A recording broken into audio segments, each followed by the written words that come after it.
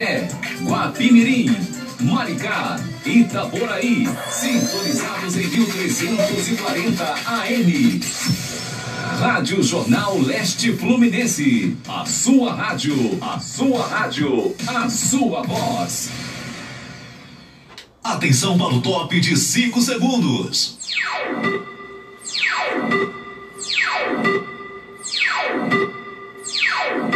Está entrando no ar. Programa Flávio Azevedo. Entrevistas. As principais notícias de Rio Bonito e região. E a sua participação. Programa Flávio Azevedo.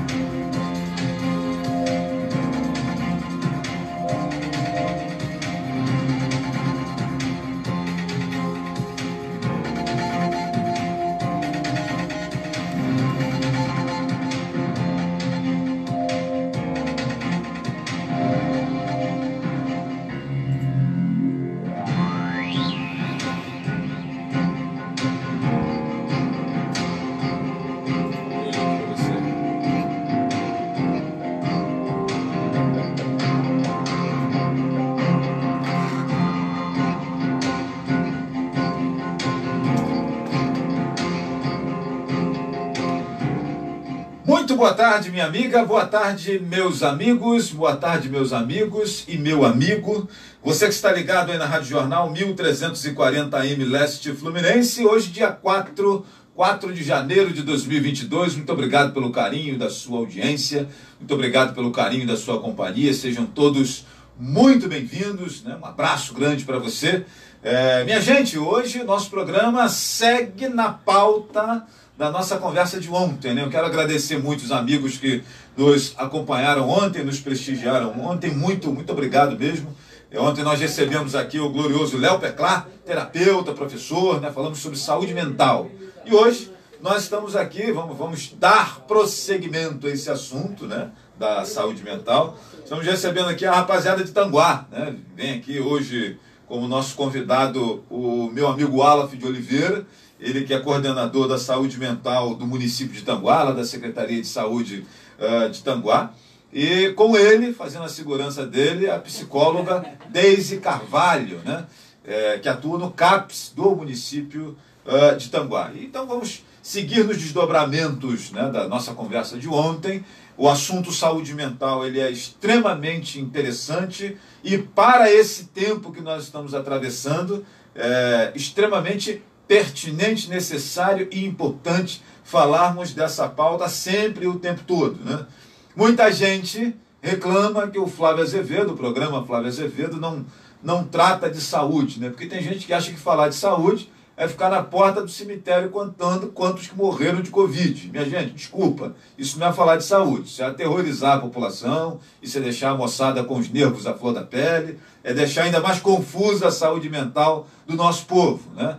É, a gente precisa falar de saúde dessa maneira aqui, de forma inteligente, trazendo especialistas para falarmos de saúde é, e das suas várias das suas várias nuances, né, dos seus vários ângulos. Né? E hoje vamos falar um pouquinho sobre saúde mental.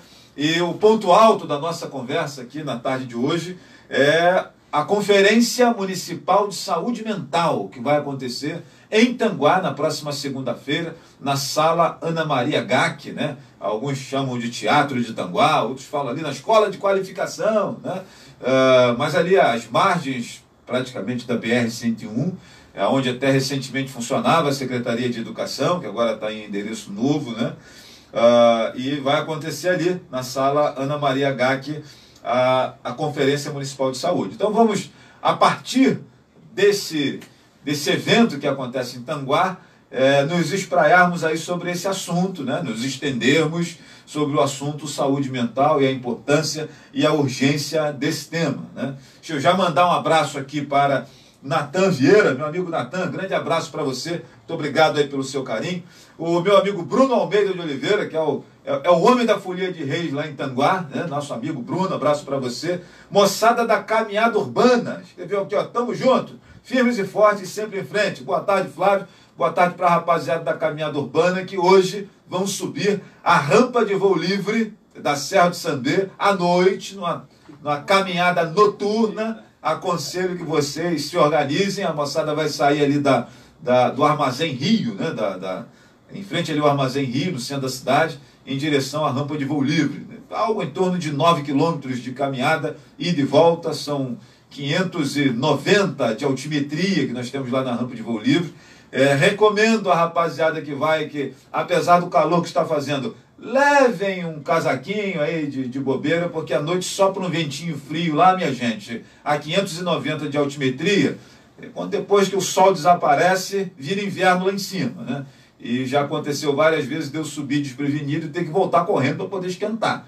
Porque, sobretudo naquela testa de montanha ali, e assim, a ideia é que realmente seja um local descampado para poder os parapentes e as asa deltas saltarem, né?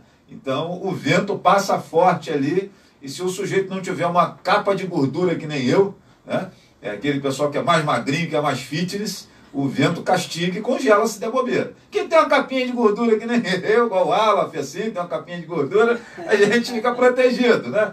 Mas quem é fininho, modelo igual meu amigo Graziani, que é o comandante aí da caminhada urbana, é, fica na roça. Meu amigo Marco Violante, nosso presidente do Clube Rio Bonito de Voo Livre, sabe bem o que eu estou dizendo, passa aqui dando boa tarde, né? E sabe, conhece como ninguém a rampa de voo livre da Serra de Sambia. Daniele Souza, boa tarde para você também. Nosso amigo Violante diz aqui, ó, cheguei agora, parabéns, asa delta. Estamos falando aqui da galera que vai caminhar hoje à noite, Marco Violante. É, moçada da caminhada urbana vai fazer uma, uma pegada hoje até a rampa de voo livre. Quem sabe você aparece lá para fazer um voo noturno, hein, é, é, Violante?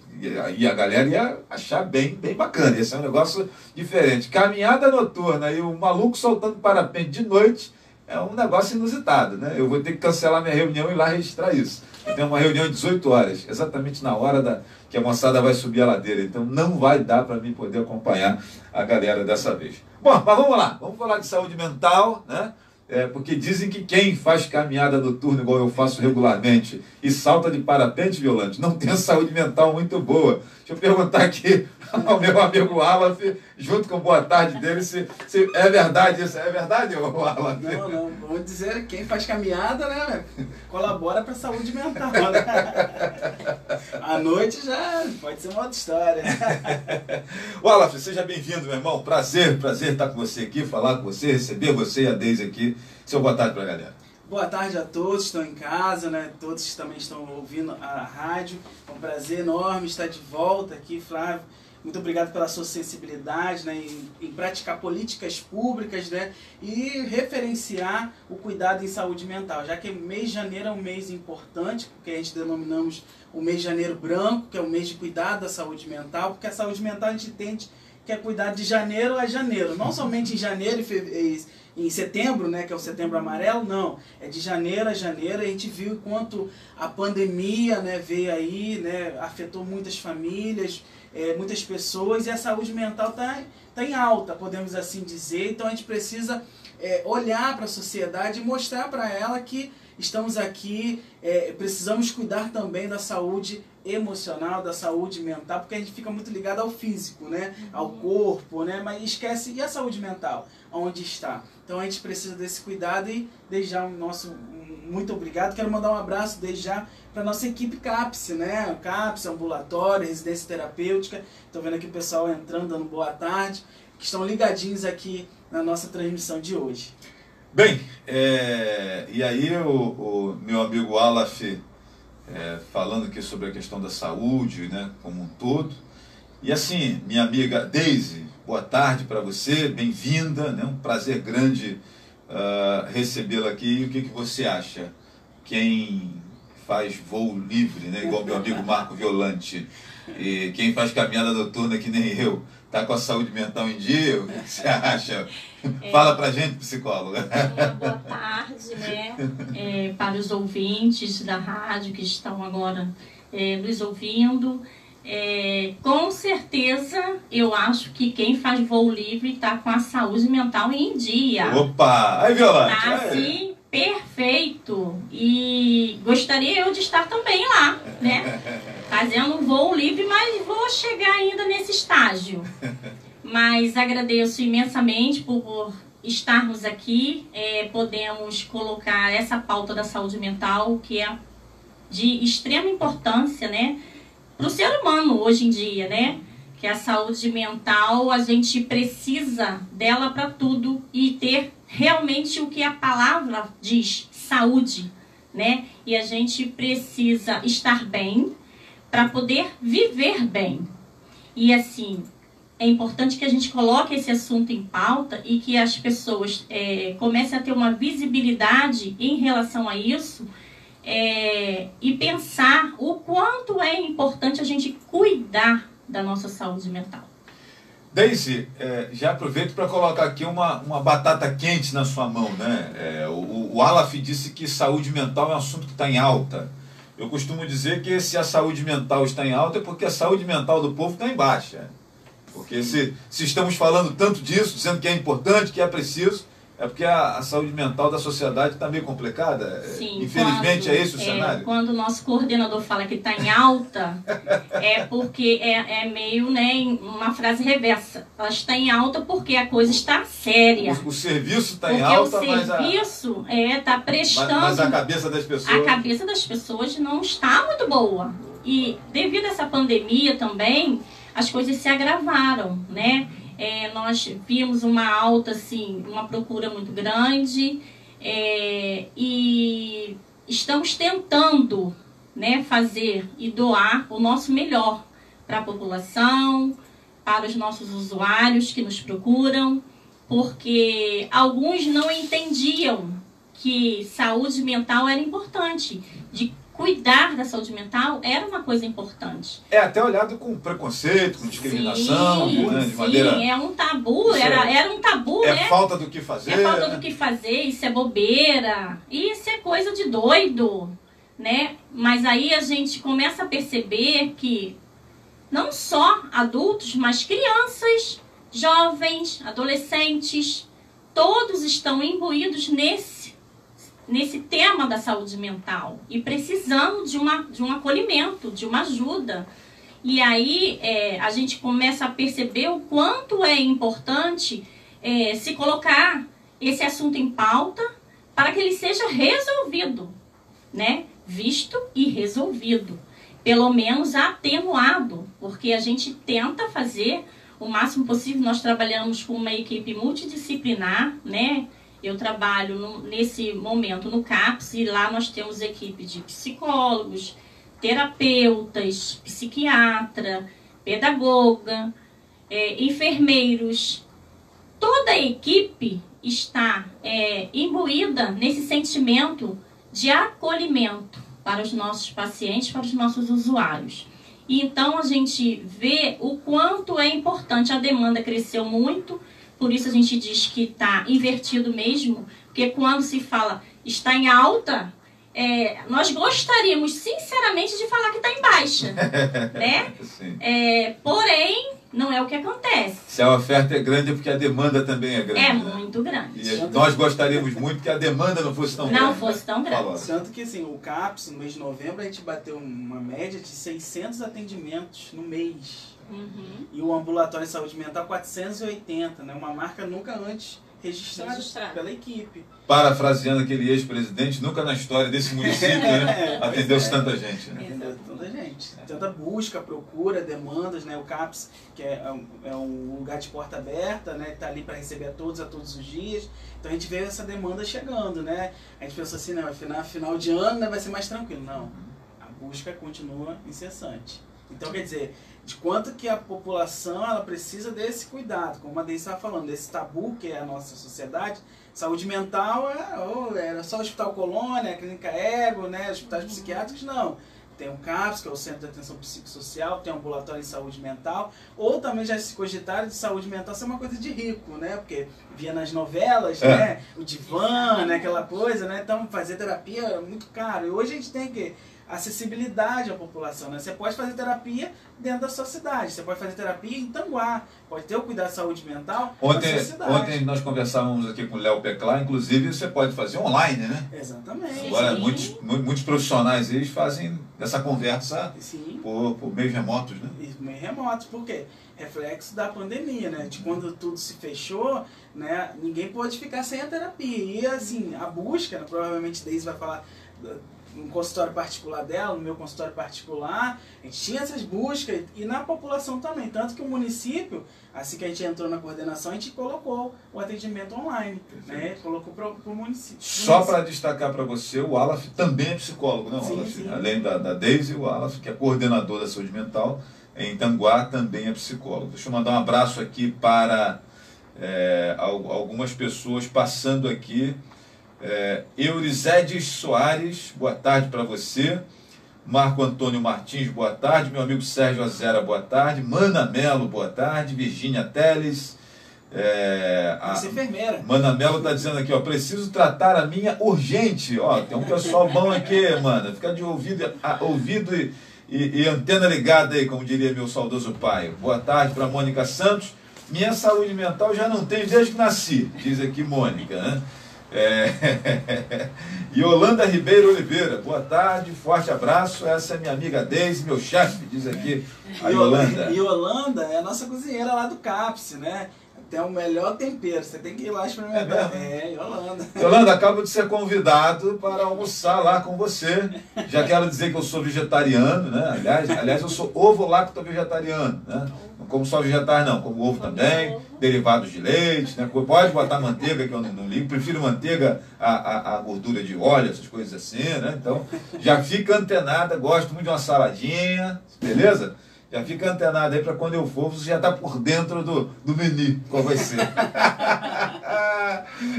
Minha amiga Mônica já está dizendo aqui, ó, já vai Flávio na boca livre. Mônica, estou sentindo falta daquela papa de milho sua, né? Tem a da Ana Sávia lá na rua, mas a sua também é especial, né? É, devolvi todas as tepoeiras, estava com a coleção de tepoeiras, ela, ela faz papa e me dá de, de, de, de- de- a papa de presente, né? E aí, quando vê, cara, eu olhei embaixo da pia lá em casa, as tepoeiras dela estavam tudo lá em casa. Aí Coitado. trouxe todas elas e não tem que trazer, senão daqui a pouco ela vai dar desculpa de que não, eu não mandei porque eu não tenho vasilha para colocar a papa, entendeu? Então, Mônica, já estão todas aí com você. Pode mandar eu buscar de novo as tepoeiras cheias, é claro, de papa. Quer falar o Yolanda quê? é a esposa do Marreco? Não sei. Ih, agora essa pergunta é difícil. Yolanda, responde cozinha muito. É, acho que é ela origem. mesmo. A fotinha Yolanda. já comi a comida dela, cozinha muito. Aí, ó, Yolanda, Eurivaldo Silva está aqui dizendo que recomenda o seu Ah. tempero, né? E, e diz que conhece você, né? E, e deixando aqui a- a- as, as devidas vênias, como diz a galera do, do direito, né? Então, Yolanda, fiquei com mais vontade ainda de visitar lá o, o, o, o CAPS de, de Tanguá, né? Vamos fazer essa visita lá. Será muito bem-vindo. É, 2022 estou de greve, sem papa. Ô, Mônica, não faz um negócio desse. Genilson Xavier, saúde mental em Tanguá cresceu muito com o Alaf, né? É, tio G. Negócio de tio G, esse? É, é o apelido. Rapaz, é, vai entregando as paradas assim. Tio G é você? Hã? Tio, tio G é você Não, ou é o Genilson? É o Genilson. Ah, o Genilson, O Genilson. apelido dele é Tio G. É, Thelma Neves, minha vizinha e cliente, melhor pessoa que trabalha no CAPS, né? Ela está dizendo aqui. Ou ou seja, acho que trabalha lá em Tanguá, né? É isso, Mônica? A Thelma Neves tra- trabalha lá? Que a galera aqui é do CAPS de Tanguá, né? Tanguá, Não é de Rio Bonito, não. Não, É. não, não confundir, né?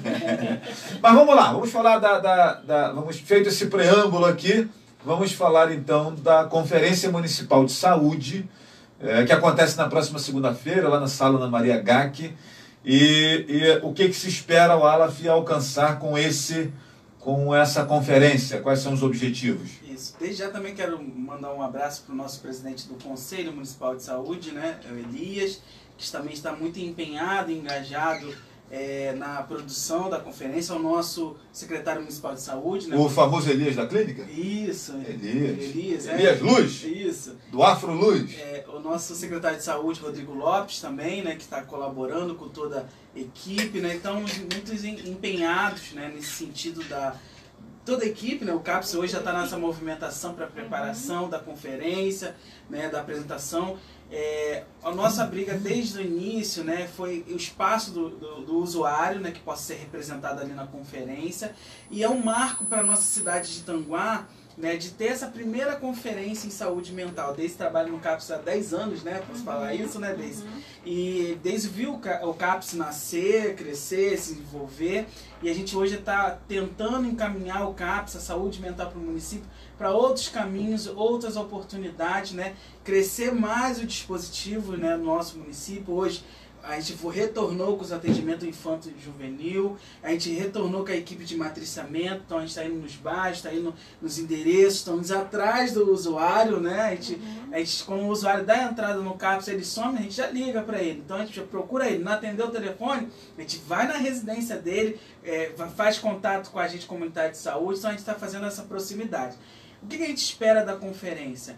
Um dia inteiro de trabalho, de discussão de políticas públicas, tanto para o âmbito municipal, o âmbito do nosso estado e o âmbito federal. A gente vive aí um, um pouco desse desmonte da saúde mental no país, né, por causa de discordância. Então a gente precisa refinar né, essas propostas, esse trabalho, dizendo assim, não, a saúde mental ela existe, ela precisa desse cuidado, né, como gente, você falava, Flávio, no início, né, que a saúde mental sempre foi vista como um tabu, como um preconceito, né? É, o paciente né, de saúde mental era visto como um bicho, né, um desumano. Tanto quando a gente fala é, dessa conferência do cuidado, então o principal eixo da conferência é cuidado e liberdade. O que quer dizer isso? A gente tira esse paciente de, desse, desse asilar hospitalar e coloca ele dentro da sociedade. Tanto que em novembro, né?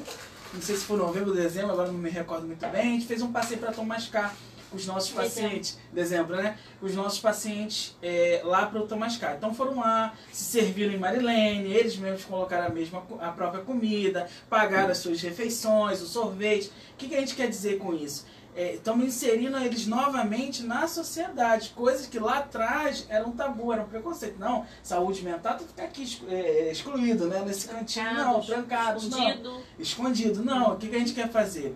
É, é, essa conferência que a gente quer mostrar para a população que vai estar ali, porque ali vai estar professor, vai estar é, enfermeiro, vai estar é, o usuário do SUS, né, vai estar ali inserido. A gente quer mostrar para a sociedade que a saúde mental precisa de um olhar diferenciado. E hoje é, a gente percebe, Flávio, né, ao longo desse tempo, que o próprio governo, tanto no âmbito municipal, estadual e federal, já começa a olhar e perceber a saúde mental de uma forma diferente. Né? Quando se cria né, a Política Nacional em Saúde Mental, cria-se um movimento de que não, a saúde mental existe, ela precisa ser pactuada, ela precisa ser ali é, é, diferenciada para que o nosso usuário tenha esse cuidado.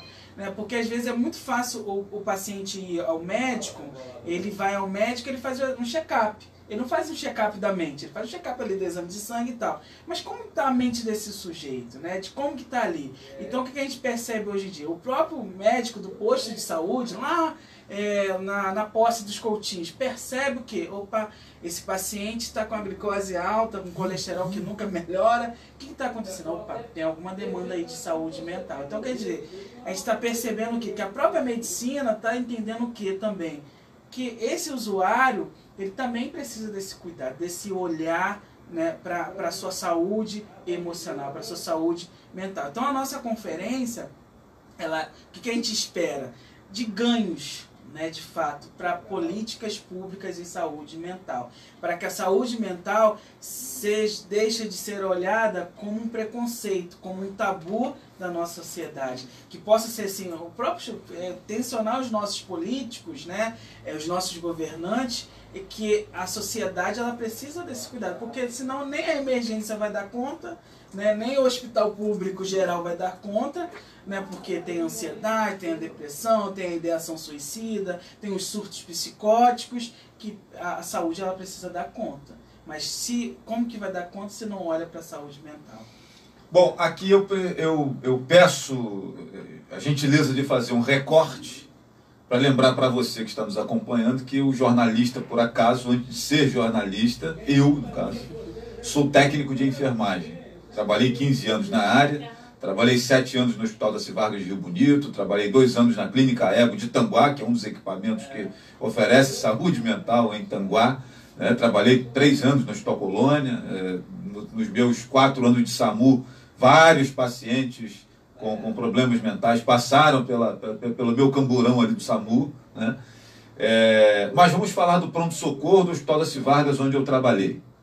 Senhoras e senhores, 60% das hipertensões que chegam no pronto-socorro eh, são de causas emocionais. Sobretudo no sábado e no domingo, quando o casal, esse casal que brigou agora em pandemia, quando se encontrou dentro de casa obrigatoriamente por conta do lockdown, esse casal às vezes se encontra no fim de semana também. E aí acontece lá um problema ou outro, né? E é normal você encontrar nos plantões de sábado e domingo, nos domingos à noite, nas sextas-feiras, madrugada sexta para sábado, né, onde a rapaziada geralmente dá uma esticada no happy hour, e aí depois que chega em casa vem os problemas, geralmente eles chegam no pronto-socorro uma hora da manhã. É, e geralmente a, hiper- a hipertensão que chega lá é de fundo emocional. Qualquer profissional de enfermagem ou médico mais experiente que trabalhou em emergência sabe disso. Né? É, então é, é- é comum a, a- briga de marido e mulher, por exemplo, que é outro ponto também a se discutir, chega em, em forma de pressão alta na, na, na- no pronto-socorro do hospital ou da clínica Demerval Garcia de Freitas, em Tanguá, é, é, ou até na ambulância do SAMU. Eu lembro é, de uma vez que eu cheguei numa, numa, numa residência e eu não entendi logo o que aconteceu. né? Estava a mulher hipertensa e o marido parecia um bicho no quintal, né? E ele ficou mais nervoso ainda quando a ambulância chegou. Não nervoso por causa de nada, não. Simplesmente que ele pensou que a mulher ia morrer por causa da cagada que ele tinha feito. E quando ele viu a ambulância, ele pensou, agora a mulher vai morrer mesmo. E ele tinha feito uma grande cagada. É, por acaso eu conhecia o casal, eu sabia que ele era o culpado do negócio, né? E aí é papoterapia, né? Uma outra história muito bacana também que eu gosto muito de contar, é, dessa questão do emocional, já que nós estamos falando aqui de saúde mental, de emocional, era uma senhora de cerca dos seus 65, 70 anos, mais ou menos. Recebemos um chamado na hora do almoço, isso eu trabalhava no SAMU, e aí o Olaf, Daisy e amigos. Quando eu cheguei lá, aquela senhora estava com 18 por 18 por alguma coisa, 18 por 12, 18 por 11 de pressão, alguma coisa assim, uma pressão bem alterada, né? Ela dizia que a pressão dela normal era 11, era 12. E eh, fiz ali uma rápida investigação, não, não, não tinha muita razão para aquela pressão alta, ela não tomava remédio de pressão regularmente, não era uma pessoa eh, cardiopata, não era uma pessoa hipertensa. E aí eu comecei a bater papo com ela, né? E ela começou a contar que o filho dela, naquele dia, que era aniversário dela, o filho dela viria do Rio de Janeiro almoçar com ela. Mas por volta de nove e meia da manhã, ela com o almoço quase todo pronto, o rapaz ligou dizendo que teve um problema de trânsito e tal, ou uma desculpa para não vir almoçar com a mãe, se a gente não sabe, né? É, ou seja, ele deu a notícia de que não viria. E eu logo entendi qual era o problema da pressão alta dela. E naquela conversa, ela olha para mim, para o motorista da ambulância, e Mônica, que ainda agora falou que eu adoro uma boca livre, né? Ela, ela olhou para mim, para o motorista da ambulância, e falou assim: Vocês não querem almoçar comigo? Aí eu falei: Ah, mas claro que a gente quer almoçar com a senhora, por favor. O motorista ficou meio desconcertado, e eu fiz sinal para ele: Fica quieto. O comando era meu, que eu era o profissional de enfermagem, e o comando era meu. Ele, é, almoçamos, ela falou, eu fiz uma sobremesa que meu filho adora, mas ele não vai vir, vai ficar aí e tal. Vocês não querem experimentar? Eu, por favor. E comemos a sobremesa também. Minha gente, depois de uma hora almoçando ali na casa daquela senhora, Rio Bonito isso, é, lá foi eu verificar a pressão dela.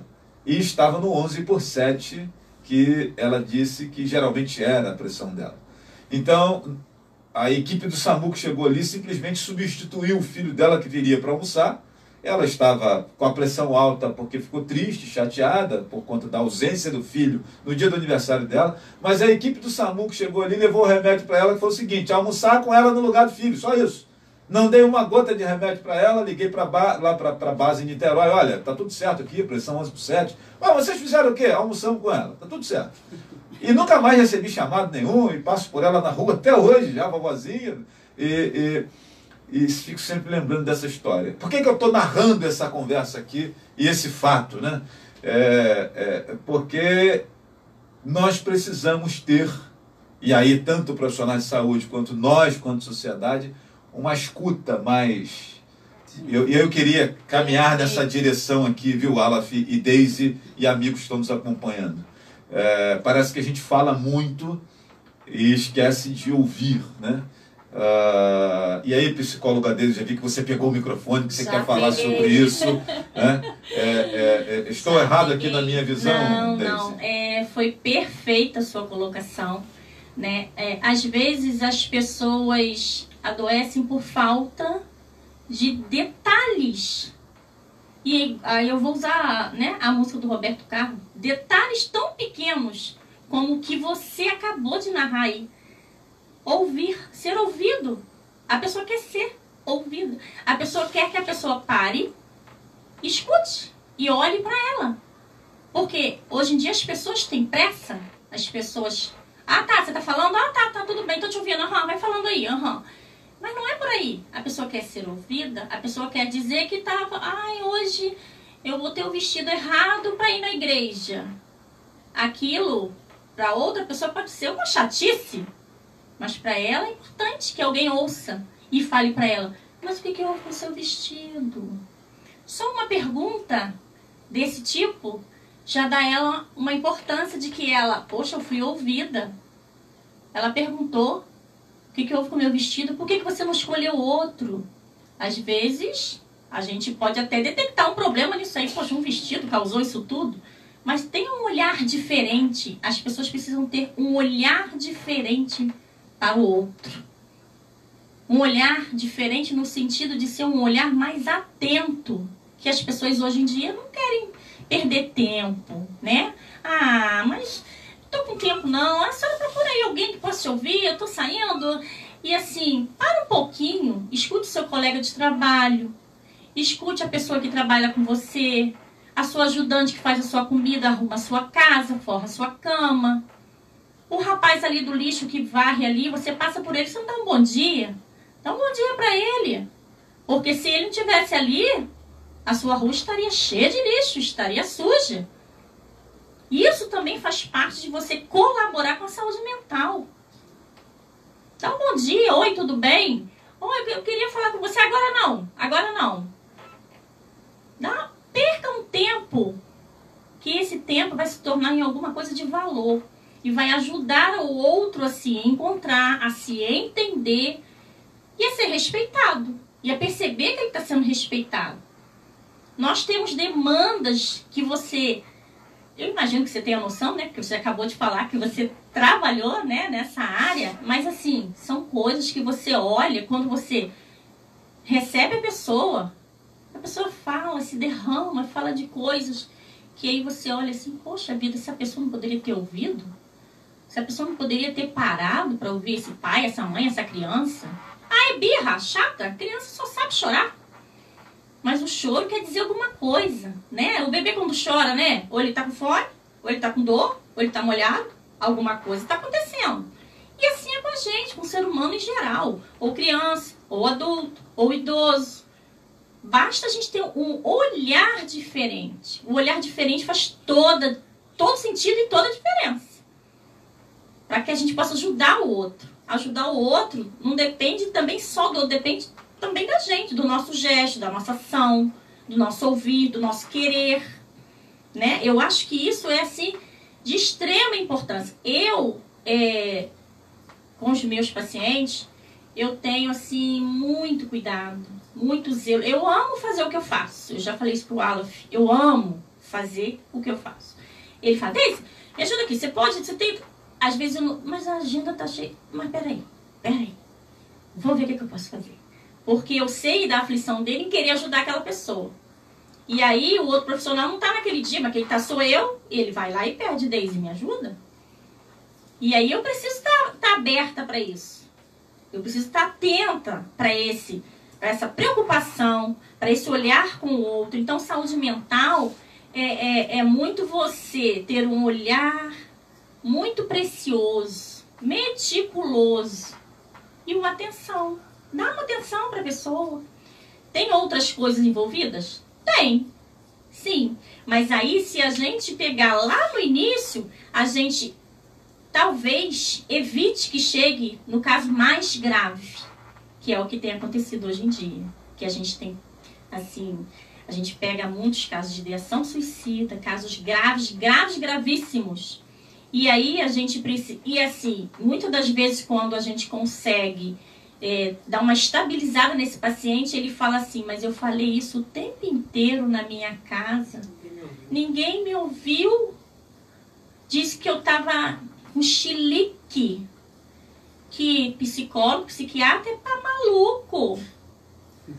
Então eu gostaria é, de falar com vocês que estão nos ouvindo, psiquiatra, psicólogo e toda a equipe da saúde mental está ali para atender ser humano. Pessoas que precisam de um olhar diferente. Partindo, partindo dessa fala aqui da nossa psicóloga Daisy, é, e aí Daisy, eu vou pedir que você continue comigo, porque eu tenho uma outra, um, um outro conceito de que 60% das reclamações da saúde pública brasileira é na falta de acolhimento de nós, técnicos de enfermagem. E aí, meus amigos, desculpa, tá? Eu, na condição de técnico de enfermagem, puxo essa responsabilidade para nós, né? A gente tem muita pressa para tudo, a gente reclama do salário que é pequeno, né? E esquece, pensamos sempre naquilo que é nosso direito, mas o dever e a atribuição ficam em segundo plano. E, e, eu entendo que, por vezes, uh, ah, 60% dos problemas da saúde pública brasileira acontece pela nossa falta de acolhimento lá no pronto-socorro, lá na porta de entrada, Sim. nessa primeira abordagem, e aí a questão da escuta, né, do ouvido, né? É, e tem uma outra coisa interessante também, né, que eu, eu ainda vou escrever um livro sobre as minhas aventuras nos 15 anos de enfermagem. Eram 8 horas, 7 e meia da manhã, junto com o meu início de plantão, numa manhã de domingo no Hospital da Vargas, chega uma senhora com um lanho na mão, é, dizendo que foi cortar o frango que estava congelado e a faca resvalou no, no gelo do frango, entrou na mão dela é, e o marido estava do lado com a cara de poucos amigos, né? Minha gente, qualquer marido, por mais problema que tenha com a mulher, se ela cortou a mão é, fazendo, a, preparando a refeição, a comida, alguma coisa assim, se for a minha mulher ou qualquer pessoa amiga, eu vou ficar desesperado com aquele negócio, né? Não vou ficar com a cara de réu ali do lado, né?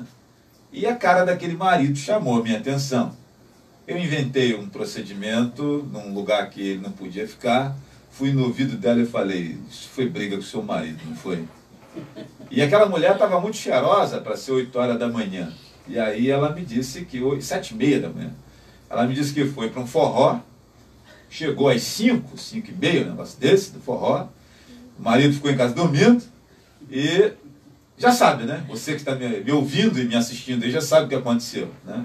E naquela confusão de chegou tarde, chegou, não chegou, o que estava fazendo, estava com quem, sobrou uma faca em algum lugar e ela foi, colocou a mão na frente e lanhou a mão. E me inventou aquela desculpa esfarrapada de frango, só que eles não contavam que o, o, o enfermeiro que atendeu já tinha uma cabeça de jornalista, né? E, e conseguia entender o que estava acontecendo ali. E aí o procedimento precisou ser outro, teve que botar a polícia na história, aquele negócio todo e tal. Tudo por conta de uma atenção que se dá a quem chega na emergência, né? Então, gente, tem certas coisas que você tem que ter um olhar muito especial, né? É, não sei se por conta do, da minha da minha cabeça de jornalista, aí, doutor Luiz Eduardo, né? Que é o tradicional, conhecidíssimo, respeitado médico até hoje se não me engano, trabalha no hospital ainda, ele sempre falava, ele me encontra, cortamos cabelo no mesmo lugar, lá no Anderson Barreto, lá na AB Barbearia, inclusive é meu parceiro aqui de comercial, o Anderson Barreto, é, é, frequentem, que é um dos melhores barbeiros da nossa cidade de Rio Bonito. Cortamos cabelo no mesmo lugar, e sempre que a gente está conversando com o Flávio, ele fala, Flávio, você sempre foi jornalista, cara. Estava longe de ser enfermeiro. Muito por conta desses olhares que eu tinha, né? E, e, então, assim, Falando um pouquinho sobre essa questão do acolhimento, é, Daisy, parece que é, nós não temos esse. Além da escuta, tem que ter um olhar, tem que ter uma percepção de quem é que está chegando, por que está chegando, e não aquela coisa do. Mas que coisa chata, né? Eu, na hora do meu café, chega esse filho da puta aqui. É, A, a palavra é essa, minha gente, que nós cansamos de ouvir. Puta que mas na hora do almoço, cara, que merda, cara. Eu tava indo agora almoçar, ou na cantina tomar um refrigerante, ou ia ali fora fumar um cigarro, chega essa peste, e aí perde-se totalmente o olhar daquele cara que está chegando precisando de alguma coisa. E, é- e, e a culpa desse mau atendimento estoura no prefeito, no governador, no presidente da república, no deputado. Geralmente nunca se xinga o cara que está lá na recepção atendendo mal. Né? É sempre o governante. É, E eu queria que você falasse um pouquinho sobre esse, Sim, esse atendimento na ponta isso. da corda, que eu acho que Esse é o, o atendimento que começa na ponta, começa aí. essa deficiência na saúde mental de quem trabalha Sim. na hora de receber o E aí, assim, eu, eu posso falar é, pelo nosso serviço, né? Porque trabalhamos no CAPS, e isso aí é uma exigência do nosso coordenador, o Alaf. É o acolhimento inicial. Porque tudo começa ali. A realidade é essa. E aí ele implantou, né? é, um serviço de acolhimento nos serviços da saúde mental. E não é só no CAPS, né, Wallace? Então tem acolhimento aqui, tem acolhimento no ambulatório, onde precisar na saúde mental está implantado o acolhimento. E aí é, nós fizemos, é, ele fez até, é, foi a Mirna que fez, Sim, né? treinamento. um treinamento para você ver o quanto nós damos importância a isso. Né? Nós temos uma psicóloga do, do ambulatório chamada Mirna que fez um treinamento com os funcionários né? para fazer esse acolhimento, né? para aprender a ter esse olhar. E aí a gente, a gente acolhe todo mundo. A gente acolhe o ansioso, a gente acolhe o mentiroso, a gente acolhe. Tem tudo, né? No acolhimento tem tudo. É verdade. A gente acolhe o dissimulado, a gente acolhe o bom, o ruim, o, que branco, o só- preto, o cara a que gente- quer só atestado para só o atestado. A papel. gente acolhe aquele que quer ali. Quer, Oi, eu queria um laudo. de manhã, então, é. Eu quero um laudo. Eu vim aqui pegar um laudo. Ah, o senhor quer um laudo, mas conversar aqui, vamos passar pela coisa. Não, mas e o laudo a gente pega como? Com quem? Então a gente acolhe todo mundo. Mas a peneira é feito é, pelos psicólogos, pelo psiquiatra, pelo assistente social e vai passando pela equipe. Mas o, o acolher é lei pra gente. Independente de quem seja e como ele chegue lá. As intenções, né? É, porque as intenções são várias. E aí tem gente, por exemplo, é, e assim, o que eu acho interessante que o Alan falou assim, olha, tem uma equipe para acolhimento, mas a demanda tá grande. Eu tenho, eu tô atendendo no consultório. Hoje eu fiz um acolhimento. Meu paciente, um paciente não foi, avisou, eu fui, eu vou ficar lá, parar, fui lá e acolhi, fiz um acolhimento. E aí você vê várias coisas, você tem de tudo, como eu te falei. Mas assim, a gente não tá ali para julgar, né? A gente está ali para ajudar. E aí a gente tem que ter o olhar. Lógico, quando eu, desde psicólogo, faço um acolhimento, eu já meu acolhimento já faz assim, tchu, tchu, tchu, vou escaneando, né? A gente vai escaneando. Isso é o mal do psicólogo. A gente fala, hum, a gente já, já pega as coisinhas ali, hum, daí falou, ah, tá. Aí a mulher catuca, já, eh, eh, hoje aconteceu de tudo. Mas assim, meu papel é esse. Eu não tô ali para julgar ele, eu não sou juíza dele, eu tô ali para fazer o acolhimento e depois dar prosseguimento no atendimento dele. E encaminhar para Encaminhar, os setores, que- setores, que você entende sim, serem os necessários setores necessários e para pertinentes seguir nesse. para seguir. Perfeito. É, para você que está chegando agora, faltando ali 5 minutos para as 16 horas, eu quero dizer para você que estamos recebendo hoje aqui os psicólogos Deise Carvalho e o Alaf Oliveira. O Alaf é coordenador da saúde mental da Secretaria de Saúde de Tanguá. Né? E com ele aqui, a nossa queridíssima Deise Carvalho, que trabalha, atua no CAPS, no Centro de Atendimento Psicossocial. Né? E, e assim, meus amigos, é, gravem esse nome: Centro de Atendimento Psicossocial. A falta de educação que existe no nosso Brasil faz que a gente não consiga entender, por vezes, o objetivo das instituições né, e seus propósitos. Então não é uma casa para atender apenas pessoas que têm problemas mentais. É psicossocial. Tem um social aí, entendeu? Então é por isso que, por vezes, determinadas situações são encaminhadas ao CAPS, o cara fala assim, "Ah, mas eu tenho que ir para lá, pro CAPS, aquilo é coisa de maluco, ops. Mas é porque é centro de atendimento psicossocial. Tem gente que tem um problema apenas psíquico, tem outros que tem só social e tem gente que tem os dois. Né? Exatamente. Então, é, essa instituição né, precisa ser pensada dessa, dessa maneira. E não é você que não entende coisíssima nenhuma que vai determinar como que funciona isso. Tem um monte de gente que ficou estudando vários anos né, para montar esse, esse equipamento que é uma política pública para oferecer. Por falar em política pública, deixa eu lembrar para você que na próxima segunda-feira nós teremos em Tanguá uma conferência municipal de saúde mental. E aí, Walaf, vou colocar você na conversa de novo, pelo seguinte, porque é, a gente fala muito do atendimento ao paciente, a, a, a essa pessoa que tem problema na, na, na saúde mental. Ah, e, e sinto falta, por vezes, nessas conversas, é, de um acolhimento para a família. Né? Como é que você vê isso, né? essa questão da família? Ah, ah, por vezes ela é tão impactada ou também tem lá suas Problemáticas, né? problemáticas mentais, né? E aí, mais uma vez, eu preciso contar para você uma história. Eu fui chamado para fazer um atendimento numa casa onde tinha um camarada que estava em surto. Quando eu cheguei lá, o surtado estava sentado de braços cruzados, de pernas cruzadas, uma xícara de café na mão, né? É, me recebeu com um boa tarde, senhor, que o senhor deseja.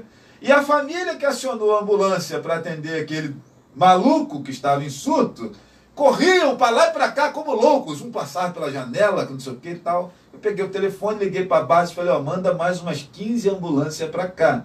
Porque o paciente em questão ele pode ficar em casa tranquilo, ele pode vir em sociedade. Agora a família dele não pode, não. né?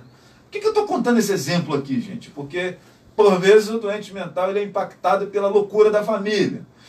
E eu vejo pouca, eu vejo pouca gente preocupada com o familiar do paciente em si.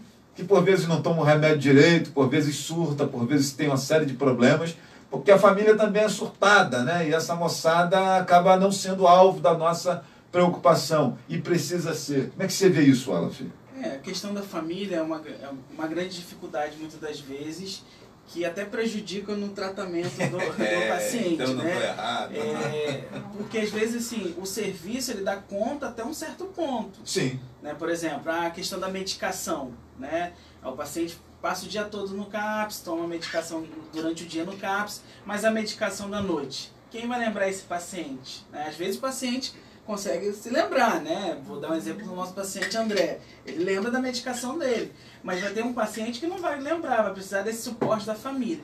E às vezes o que acontece, a família não dá esse suporte, né? E o que acontece, o paciente en- abre um quadro de surto, né? Novamente. Então quer dizer, aí vai colocar a culpa no serviço público. Ah, a culpa é do CAPS, a culpa é do, do, do secretário, a culpa é da emergência, né? E não, às vezes a, a problemática está dentro da família, né? O que que a, a- política nacional de saúde mental vai dizer? Que a gente tem que trabalhar esse sujeito, tanto o sujeito, né, enquanto paciente, quanto a família. Por isso que no CAPS existe a reunião, as reuniões né, de famílias, né, as assembleias de famílias, existem as intervenções né, com o nosso assistente social que vai na casa, visita, né, por exemplo, o paciente de saúde mental, ele recebe o LOAS, né, o BPC. Então a assistência social ela acompanha isso, né? Ah, o que está sendo utilizado, o dinheiro do paciente? Está sendo utilizado para ele, né, para comprar medicação, né, que o município às vezes não fornece, ou para comprar uma roupa, né, uma coisa que ele tem o desejo, tem uma vontade de fazer, mas a família ela precisa estar engajada, porque se a família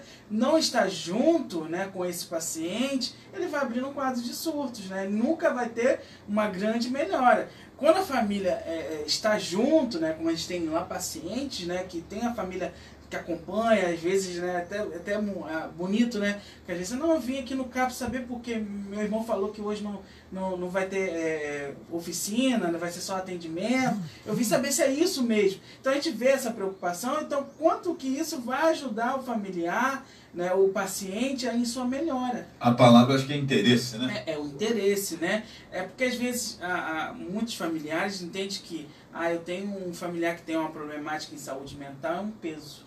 né? Para mim é um fardo.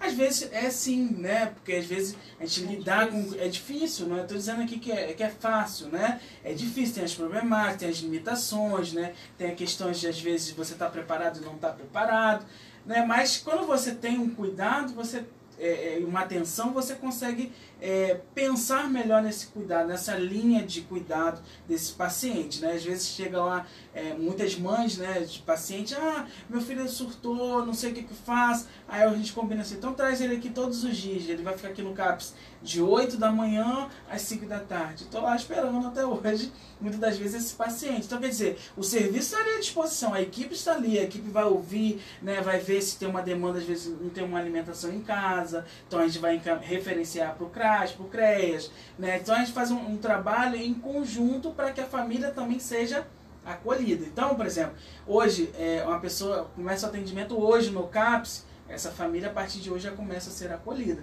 Por exemplo, vou dar um exemplo de uma adolescente que a Daisy vai atender. Ela atende primeiro o pai, a mãe, ela vai atender o adolescente, ah, mora com a avó, ela vai chamar a avó para saber como que é essa dinâmica da casa, né? Vai pedir um relatório da escola para ver como que é esse adolescente na escola, se tem algum tipo de demanda, se participa de alguma instituição, ela vai pedir um relatório, vai ouvir, então ela vai trabalhar o que? A família vai ser acolhida ali nesse tempo. Mas também a gente precisa desse acolhimento da família com o usuário, com o paciente. Senão não vai andar o processo psíquico desse paciente. E o que, que a gente pode fazer para melhorar essa interatividade, esse, esse interesse do, do, do, do familiar em participar do processo? A gente sabe que quando acontecem essas assembleias que envolvem as famílias, é, quem participa da assembleia é exatamente o cara que não precisa de ouvir nada daquilo que está sendo dito lá, porque ele já é um camarada frequente, interessado, participativo. Exatamente. Quem deveria receber as- orientações é o cara que não vai. E aí, quem está lá fica assim, pô, mas vou falar disso de novo. De novo, porque ele é interessado, sempre está junto, né? É, Para trazer esse cara. Na escola, descobriu-se a metodologia de tirar o Bolsa Família. Sim. Bloqueou o Bolsa Família, a família aparece rápido, né? Na saúde mental, o que, que tem que bloquear para poder... de repente- BPC, né? É, o BPC. Falar em cortar em BPC aparece todo mundo. É, mas a gente, assim, a gente tem alguns avanços, né? Por exemplo, a questão das crianças e adolescentes. A gente colocou uma assembleia, né? Que vai acontecer de uma vez por mês, né? E a gente até se surpreendeu. Na última Sim. deu 40 responsáveis, Pô, né? legal. né? E a médica estava lá, as psicólogas, né? tanto a, a Sânia como a Daisy, a psiquiatra Alice, estava ali conversando com, com os pais. A gente até ficou assim, nossa, deu tanta gente, né? Sim. né? A gente preparou aquele lanche, né? Pra, ter É um atrativo. É um atrativo, É um né? De. Holanda, né? É. Preparado por Holanda. Sim. Então, quer dizer, eu acho que o ponto principal é reconhecer a doença, né? Reconhecer de fato o que acontece ali com a saúde mental que está inserido na sua família. Quando você reconhece e aceita, que às vezes o diagnóstico é difícil, né? É muito ruim para a mãe, para o pai receber um diagnóstico que o filho é esquizofrênico, o filho é Sim. psicótico, né? É um baque, né? Ou que o filho é autista, tem TOD, tem TED, né? Tantas outras nomenclaturas que a gente pode, senão a gente vai passar a tarde toda falando de nomenclaturas, né? Mas é difícil receber esse CID, né? Mas eu acho que o primeiro ponto é a aceitação. Ah, não consigo aceitar, também precisa desse tratamento, né? Por que, que você não está aceitando? Né? Se você precisa correr atrás desse cuidado, dessa linha, né? Eu acho que o principal ponto é, é, é aceitação. Não está conseguindo, né? Ah, às vezes, às vezes a gente persegue isso, percebe isso, né? A mãe chega, conversa, ah, não consigo aceitar que meu filho é assim, né? Não aceita essa limitação. E a gente ali como equipe vai trabalhando né, nessa borda para que isso não, não afete a criança ou não afete o adolescente e não afete esse usuário em saúde mental. Mas é o primeiro ponto é a aceitação, né? É, é buscar isso, é esse trabalho, reconhecer os erros, as falhas, né? Que às vezes é o nosso ego, né? Tão, não, não, eu não aceito isso, né? Ah, Deus não, não merece isso porque é, Deus, como que Deus fez isso comigo, com a minha família? Não aceito porque isso não é de Deus, né? Nada disso. Precisa desse ponto, dessa aceitação em primeiro lugar e começar a trabalhar essa busca, porque a gente vê melhoras né, no paciente. É tão bom quando o paciente chega de uma maneira no CAPS e três meses, seis meses depois, sete meses ou um ano depois a gente vê esse paciente até com alta. É, botando agora a minha amiga Deise na conversa, né? Um abraço aí para a moçada que está nos acompanhando, né? Antes de eu fazer a pergunta, bom, a pergunta é a seguinte, né? Na educação, nós vemos muito a tal da transferência de responsabilidade, né? É, os pais se ausentando, né? E o problema é da escola, é do, do, do cara do karatê, da capoeira, e a criança às vezes tem a agenda mais lotada do que a do jornalista. A agenda da criança é mais lotada do que a da Daisy e do Alaf no, no consultório dele, né? Porque o cara acorda de manhã cedo, toma café, vai para a escola. Quando chega tem inglês, karatê, capoeira, balé, não sei o que, os a quatro e tal. Tudo isso para não ficar em casa porriando, né? Quando chega tem compromisso com a cama, porque no outro dia tem que estudar, etc e tal. E aí quando chegou na pandemia agora, os pais valorizaram pra caramba a escola e o professor, porque descobriram o capetinha que tinha em casa, né? E aí, como a criança vai para a escola com 3, 4 anos, ele não sabe nem como é que funciona aquele moleque. E aí, com a pandemia, aulas suspensas e tal, rapaz, mas é isso que a tia atura lá todo dia. E todo mundo começou a achar o professor, a escola, um ambiente maravilhoso e necessário, né? É, teve gente até que burlou a- as recomendações sanitárias da pandemia e botou numa creche que, da, da Dona Maria, que juntou a criançada no fundo da rua. A gente sabe disso, né? Bom, vamos lá. É, assim como existe essa transferência de responsabilidade lá no universo da educação, psicóloga Daisy, é, onde a responsabilidade, a culpa nunca é do pai da mãe, é sempre do professor, da escola, do diretor, do prefeito, sei lá de quem é. Ah, nós também temos essa transferência de responsabilidade no cenário aí da, da, da psiquiatria, da, da saúde mental, da, da, da- daqueles que fogem da sua responsabilidade como familiar, como, é, é, é, como é, dono daquela tutela, de, de estar responsável pelo outro. Sim, Como é que você vê isso? Acontece muito, né? A transferência de responsabilidade, principalmente dos familiares, né? Que acham que a gente, eles foi detectado um problema mental. O problema não é meu, é de vocês que trabalham com isso. É da escola que tem que cuidar do meu filho que deu problema em casa, mas tinha que estar na escola, porque eu não aguento mais. Nós tivemos casos de pais e mães que literalmente ficaram com problema de saúde mental por conta de ter que dar aula ao filho em casa. Você tocou num assunto muito relevante. Sim. Eu tive vários adolescentes e crianças com esse tema, com esse assunto. E a mãe chorava e falava: Eu não aguento mais, estou chutando balde e estou passando a bola. E aí eu fiz a seguinte pergunta para ela: A senhora está passando a bola para quem? Porque o filho é seu. A princípio, ele é responsabilidade sua como mãe. Grosseiramente falando, então, falta um pouquinho de quem pariu o Mateus que o balance nessa conversa. aí. Exatamente, É, a falta. gente pode até ajudar a, a- a- a A embalar gente o Mateus. ajuda, mas né? assim, a gente tem que Mas trazer eles a é seu, realidade, pessoal, né? a realidade de que eles também precisam tomar parte dessa responsabilidade e assumir isso. Porque transferir é fácil, né? Transferir e esperar que o outro resolva. Muito cômodo. É cômodo, porque assim, na maioria das vezes, até que com a gente lá, a gente, assim, a gente tem uma equipe bem coesa e uma equipe boa, né, é, de trabalho, graças a Deus, bem orientada, bem coordenada, né, coordenador Wallaf. E assim, a gente consegue é, manejar bem isso daí, mas assim, às vezes a gente tem que dar uma chamadinha assim mais forte, né? Porque às vezes você passar a mão, a pessoa acha assim, poxa, não, mas eu tô querendo trazer responsabilidade para você. E aí acha que é assistente, soci... assistente social que tem que resolver o problema do meu BPC, eu tô sem dinheiro em casa. Você tá aí para isso. Então eu trouxe o problema, você resolve. Então a gente faz o quê? A gente faz as orientações, né? Porque às vezes a pessoa tá tão desesperada, porque tem isso também. Aí o que eu te digo é o olhar diferente. Ela tá tão desesperada que ela precisa de alguém para resolver o problema dela, não interessa quem. Se é na saúde mental, joga lá que a gente resolve. E a gente tem que resolver. Mas aí a gente vai orientar essa pessoa, calma, vamos sentar. Vamos, peraí, senhora se ouviu? A senhora está dizendo que vai chutar o balde do seu próprio filho? A senhora se ouviu? A senhora ouviu o que a senhora está falando? Vamos conversar? Vamos entender? E aí a gente vai conversando, a gente vai chegando a um senso comum, né, do que está acontecendo, e a gente põe na realidade que é difícil para todo mundo, inclusive para nós que estamos ali, né? Porque a gente não pode se colocar como um Deus, né? E a gente não pode se colocar como um ser supremo, que a gente é o tal e que a gente resolve tudo. Não, a gente é, prefere ser aliado. Vamos nos aliar para a gente conseguir resolver isso? Vamos sentar aqui, vamos pensar junto.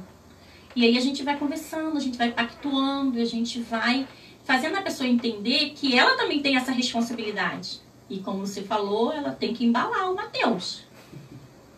Né? Mas assim, de uma certa, de uma outra forma, com que ela não fique que esse desespero dela vá amenizando. Né? Esse é o nosso papel. Se a gente também for botar fogo no paiol, não adianta ela procurar a gente. Às vezes o, às vezes o Mateus está pesadinho e Tá você pesadinho. a- a- ajuda, né? Ajuda. Uma, uma mantinha. Vamos botar uma né? mantinha. Ih, E esqueceu a touquinha aqui, vamos botar uma touquinha. Mas o, mas o embalar Mas é o da embalar família. é da família, Perfeito. né? E a gente faz eles reconhecerem isso de uma forma amena. Perfeito, é isso aí. Minha gente, deixa eu mandar um abraço aqui para Luiz Antônio Santos, que passa aqui dando boa tarde. Virgínia Teles escreveu aqui, ó, enfermagem do CAPS presente. Obrigado, Virgínia, pela sua, a, a sua audiência. O meu amigo Maicon Vieira, que ontem colocou uma série de, de fotos, né? Malhando, e tá fininho, hein, Maicon? Tá, tá fininho. Então, Tá fitness. tá fitness. Tá- mental, Tô é. gostando de ver. Maicon Vieira escreveu aqui, meu amigo Alaf, excelente profissional, sucesso. E eu já lancei lá o desafio para o Maicon me acompanhar nas trilhas. Estou aguardando você, Maicon. É, o Anderson Viana, parabéns, meu, meu grande amigo, pelo ótimo trabalho. Né? O Maicon escreveu aqui, o cara fala sem medo de errar. Dialoga com propriedade e coerência. Quanto profissionalismo, parabéns. Um recado aqui para o Alaf. Eu estou querendo ver você com essa desenvoltura na trilha lá comigo também, viu, Maicon? Um abraço também pro, pro Anderson né, Viana, que é, o- é um grande parceiro também na, na saúde mental, porque é, hoje os nossos usuários, pacientes do CAPS, têm direito a cursos né, na escola de qualificação, né? Legal. Também quero mandar um abraço também para a Pio, que é uma grande parceira, né? Toda semana libera um profissional de educação física para fazer atividades com os nossos pacientes ali do CAPS. Então um abraço aí para a Pio e o Anderson. Show de bola! Abraço aí pra essa rapaziada. Deixa eu mandar aqui um, um alô pro. Quem mais aqui? Nilcilene Faria diz aqui, ó. Boa tarde, amo a psiquiatria. São 15 anos de clínica ego, né? De grande aprendizado. Eu também passei por lá e aprendi bastante. O doutor Ivo era meio maluco, mas era um cara que ensinava. Acho que todo profissional de saúde deveria passar um tempo na psiquiatria, né? Eu, eu, eu me permito acrescentar aqui, viu, Nilcilene? Não é todo profissional de saúde, não todas as pessoas, toda a sociedade deveria passar 24 horas dentro de uma instituição psiquiátrica. É, e eu tenho certeza que muita gente que olha para o outro em cima, por cima do ombro sairia mais humilde depois de ver o que, que é um ser humano sem razão, né? sem a sua saúde mental plena. É, eu, eu defendo essa ideia desde que ah, desde que eu me comecei a fazer enfermagem e tive minha experiência dentro do Hospital Colônia, no meu primeiro contato com o Hospital Colônia, eu saí de lá diferente, eu saí diferente. né? Então, ela diz aqui, acho que todo profissional de saúde deveria passar um tempo na psiquiatria, eu acho que a sociedade toda, mas concordo com você. Aonde eu aprendi que loucos todos nós somos um pouco, né? E que num piscar de olhos qualquer um pode surtar, né? Eu já tive o, o, o- desprazer de ter colegas que eh, surtaram. né? Eu tenho duas pessoas do meu período de, de técnico de enfermagem. Eh, hoje tenho uma mulher que vive internada, ela era uma colega profissional de enfermagem, ela surtou realmente. Eh, não sei qual, qual foi a razão, né? eh, exatamente, e o outro colega ficou bem avariado nas, nas suas, eh, usando o termo que o papai falava, nas suas faculdades mentais, né? Eh, eu le- lembro bem disso. Então, sim, os profissionais de saúde, e acredito, o Alaf e, e Daisy e amigos que estão nos acompanhando, que nesse tempo de pandemia, onde a moçada da ponta da corda, da ponta de lança, eram a- a os médicos e profissionais de enfermagem, que não dava para correr do Covid, não. Todo mundo ficou trancado em casa, né? É, quem saía, saía voluntariamente, mas a recomendação era, era ficar em casa. Mas o técnico de enfermagem, o médico, a galera da saúde, todos tinham que sair, porque não dá para fazer atendimento online a quem está com falta de ar, a quem está precisando de, de, de, de mão na mão, né? É, e aí, minha gente, eu acho que isso aí foi assim algo que é, impactou bastante a saúde mental do profissional de, de enfermagem, né? Obrigado, gostei da palestra de vocês. Adorei, diz aqui o Luiz Antônio Santos. Vamos falar um pouquinho sobre esse profissional de enfermagem que ficou na ponta da corda é, nesse tempo de pandemia, o Alaf e Daisy. Que, que, leitura que vocês fazem desse momento? Não só da enfermagem, mas o profissional de saúde de maneira geral. Os médicos também, né? E, e aí eu falo um pouco da enfermagem porque o cara da enfermagem, para ele poder dar um, um, um, conforto mínimo, um mínimo de dignidade à família dele, os salários são ridículos, né? É, e é ridículo por culpa nossa, nós da categoria, porque se a gente fosse mais brigador, é, é, é, menos frouxo, os salários seriam melhores, né? mas nós somos extremamente malas e desunidos, né? nós, profissionais de enfermagem. Por isso que eu saí dela. É, e, e aí, eu fico imaginando esse, esse profissional na ponta, vendo morrer gente pra caramba, a televisão só contando que está aumentando o número de mortos, mortos, mortos, mortos. E ele não pode ficar em casa, ele fica ali. Né? E por vezes muitos ficaram afastados até do convívio familiar, do abraço da esposa, do esposo, dos filhos, dos parentes, da mãe, do pai, que estavam lá na, na, na, naquela, naquela zona, do, naquele olho do furacão. Né? É, e eu acho que tem que ter uma, um, um equilíbrio mental muito grande para enfrentar esse momento. Será que eu vou ser o próximo? E daqui a pouco, sabe quem morreu? Fulano, que fulano trabalhou com você lá naquele hospital, cara, não lembra não? Rapaz, mesmo, ih, cara, pegou Covid e foi pro saco. E você tá ali. Daqui a pouco, tá sabendo quem tá entubado? Quem? A fulaninha, que trabalhou com a gente lá naquele plantão lá em tal lugar, lembra? Então, cara, tá mal. Doutor fulano disse que não passa de hoje. Daqui a pouco chega a notícia. É, e, cara, assim, eu acho que é um negócio muito muito complicado, gente, né? Como é que é isso, o Alaf Daisy, né? Trabalhar, trabalhar nessa, nessa ponta ali. E vocês também, né? Que, querendo ou não, também estavam ali. Mas eu digo a enfermagem e o médico, né? Que esses caras especificamente lidavam com o paciente que estava tossindo, com o paciente que estava é, é, expelindo secreção contaminada, né?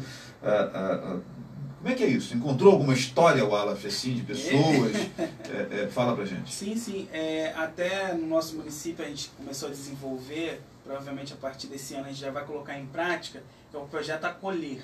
Né? A gente já fez com a educação, para o retorno das aulas, tanto os professores quanto alunos, e a gente vai fazer agora com a saúde. A saúde demorou um pouco porque como é plantão, são plantões, né, que é toda a equipe é muito rotativa, então a gente tem que se organizar bem para poder que esse modelo possa funcionar. Mas a gente percebeu essa demanda, tanto que a gente, tanto no, no, na saúde mental, a gente abriu espaço para os profissionais da saúde para que pudesse procurar os nossos serviços, né, para que possa acontecer esse é, atendimento. Por quê? É a demanda de morte, né, a pulsão de morte ali o tempo todo, com o sujeito, né? Tá lidando ali com a morte o tempo todo e como que isso fica na minha mente. Não só a morte para si mesmo, mas a morte também dos seus próprios familiares, porque eu estou num ambiente contaminado, eu tenho que sair, tenho que fazer aquela higienização toda e posso correr um risco de chegar em casa levar isso para os meus familiares. Então, quer dizer, a morte estava ali o tempo todo lado a lado. E o que a gente percebeu né, nesse tempo é, foi, de fato, esse adoecimento dos profissionais de saúde né, em relação psicologicamente, né, à sua própria saúde mental. Não física, né, é, propriamente dita, mas também, por exemplo, vou dar um exemplo, o médico que já fumava um tanto de cartela. Com a pandemia ele já começou a fumar Y de cartela, né? É, enfermeiros, técnicos de enfermagem, né, que conseguiam cumprir um plantão de 24 horas, hoje em dia já não consegue mais porque tem esse medo, né? E agora a gente está nessa questão né, dessas ondas aí que estão chegando, estão vindo, estão aparecendo, né? Cada hora é um nome diferente e já começa um período de tensão novamente. Ah, a gente vai passar por isso tudo de novo, a gente vai passar por lockdown novamente, né? A gente vai passar por todas as enfermarias cheias, né? É, como que vai ser tudo isso a todo tempo e a todo momento. Então, é, a gente percebeu é, esse atravessamento, sim, né? E alguns profissionais souberam lidar e outros não, tiveram muitas dificuldades. Né? Outros, né, a gente percebe muito isso no consultório, ah, eu estou trabalhando porque eu tenho que ajudar vidas, mas eu não estou bem. Né? Eu preciso também desse cuidado, ou muitas licenças, né? muitos afastamentos né? de uhum. profissionais, gente, desse turbilhão de questão, né? Por isso que a gente vê hoje a saúde, muitas vezes com falta de profissionais, de médicos, de enfermeiros, de técnicos, não é porque é, não querem, não é porque às vezes tem as demandas psíquicas que estão atravessando essas pessoas nesse momento de pandemia, né? Melhorou um, um pouco, né, com esse a, apaziguamento, né, da pandemia, mas agora volta essa tensão novamente. Então, quer dizer, até um alerta aí para os nossos secretários, né, os médicos, né, desse cuidado também da saúde mental. Eu percebi também esse aumento de procura de profissionais da saúde pela terapia, né, buscando de fato a terapia, buscando esse cuidado de saúde mental, porque estão cheios, né? Eu sempre dou o exemplo do copo de água. Você chega em casa, está com muita sede, você vai enchendo a água no copo, mas você sabe aonde parar a borda, né? O limite. E se você não parar, isso transborda quando transborda, a gente precisa, opa, eu preciso desse cuidado, eu preciso dessa atenção. Então, a saúde ela foi afetada diretamente, tanto não só pela pandemia, mas também é, pela pandemia de saúde mental. Tanto que a Organização Mundial de Saúde, a OMS, declara que teremos uma pandemia de saúde mental. Porque depois, após o Covid, né, das sequelas, seria a saúde mental. Denis, quer acrescentar alguma coisa? eu acrescentaria é, também o acolhimento, né, para esses profissionais, principalmente, né, a, a turma que ficou assim na linha de frente, que foram os enfermeiros, técnicos de enfermagem, médicos, né, e precisam realmente desse acolhimento, desse olhar de, das autoridades, né, para que comece a rever algumas questões em termos de salário, de carga horária, porque é necessário. Porque muitos desses profissionais perderam parentes. Eles tiveram que cuidar dos seus próprios parentes que morreram na pandemia e alguns deles até nos locais onde eles trabalhavam. E eles tinham que lidar com isso. Então eu acho que é, é necessário que tenha um acolhimento também para esses profissionais, que são assim, tem meu imenso respeito. É, é inclusive, nós temos profissionais de, de, de saúde que. É, temos profissionais de saúde que trabalham em três empregos, né? Sim, não é porque ele é maluco, não é porque ele está com a saúde mental fragilizada, não. É porque ele quer levar um mínimo de dignidade para casa, né? Exatamente. É, um mínimo de conforto para a sua família. Exatamente. E aí o cara trabalha né, em, em três empregos. Ele, eu lembro que quando eu estava para casar, eu tinha 25 anos, eu trabalhei, trabalhava em três lugares. Eu dormia no ônibus, porque eram os momentos. Quando eu estava indo de um plantão para o outro, eu dormia no ônibus, né? É, mas estava com 25 anos, estava jovem, né? E às vezes a gente só vai sentir os efeitos disso na idade, na hora que chega, né? Ainda bem que eu saí a tempo dessa armadilha, então se eu sentir vai ser não, não vai ser tanto, mas eu tinha colegas de 50, 60 anos que viviam nessa luta há 30 anos, né? É, então, assim, cara, é, pensa-se pouco sobre isso e, sobretudo, a categoria precisa ser mais, é, é, é precisa ser mais assertiva e, e, e, e, mais unida na busca, por isso tudo que a Deise acabou de falar aqui.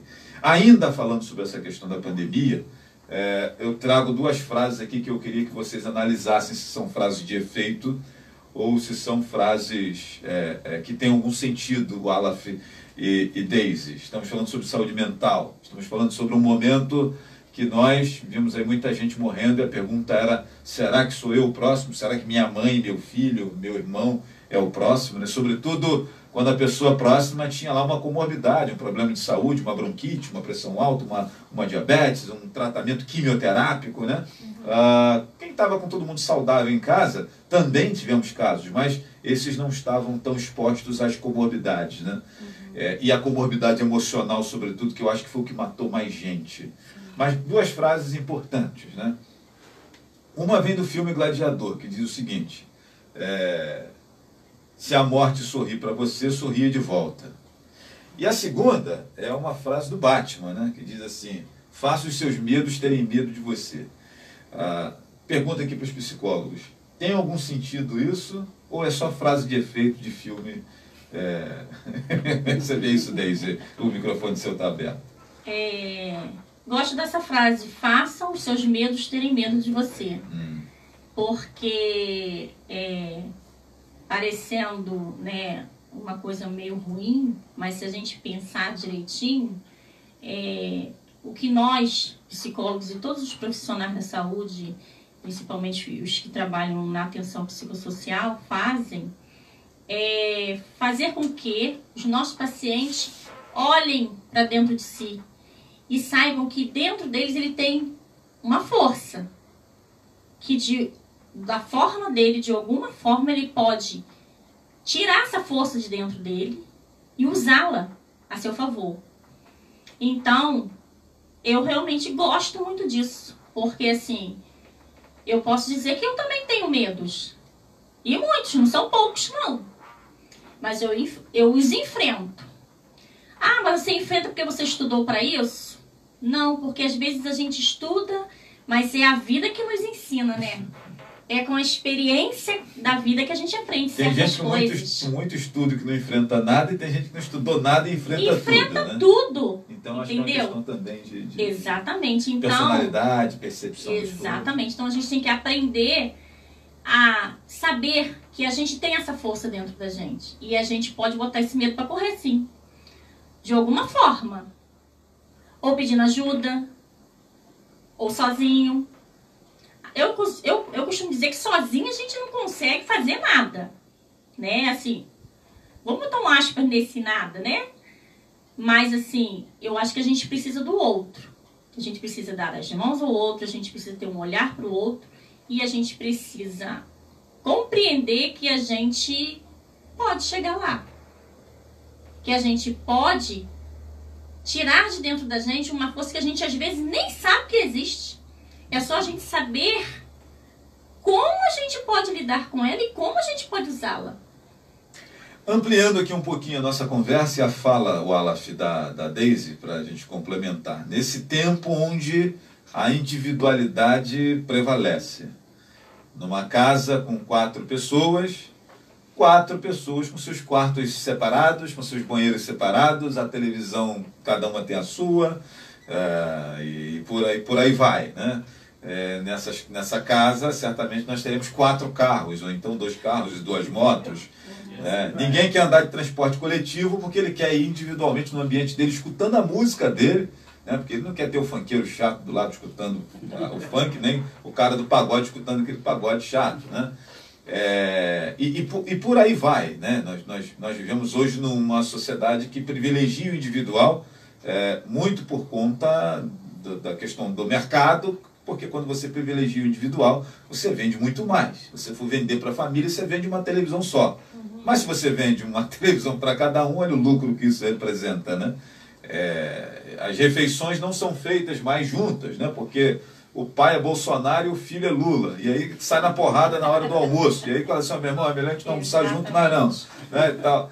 É, a coisa está nesse, nesse naipe, né? E, e aí, nesse momento de pandemia, embora nós não pudéssemos abraçar, nem beijar, mas era preciso dar as mãos, metaforicamente falando, Daisy.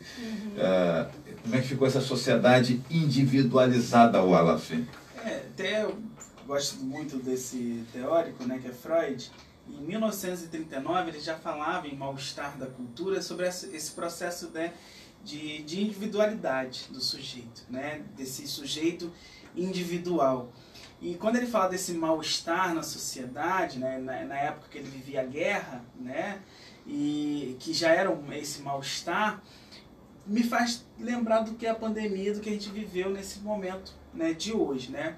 Eu sempre falo que a pandemia ela teve um lado negativo, mas teve um lado positivo. Né? O lado positivo foi o lado da junção das famílias, né? do fato de você estar na sua casa, onde você teve que trabalhar em casa, estar com seus filhos, com sua família. Eu tenho um amigo que ele é advogado e tem dois filhos, né? Ele falou assim, eu aprendi, eu comecei a ver meus filhos de outra maneira né? Que eu só via eles no final de semana, né? E brincava só com eles no final de semana. Mas eu vi meu filho falando a primeira palavra, eu vi meu filho comendo a primeira refeição, né? Então, quer dizer, as famílias começaram a se introduzir e se conhecerem. Coisas que não tinham nessa individualidade. A individualidade ela é muito marcada na nossa sociedade, né? Onde o celular é um processo individual, né? Que às vezes atrapalha no processo terapêutico, né? Onde o sujeito fica ali o tempo todo, come com o celular, né? Fica só no celular o tempo todo, né?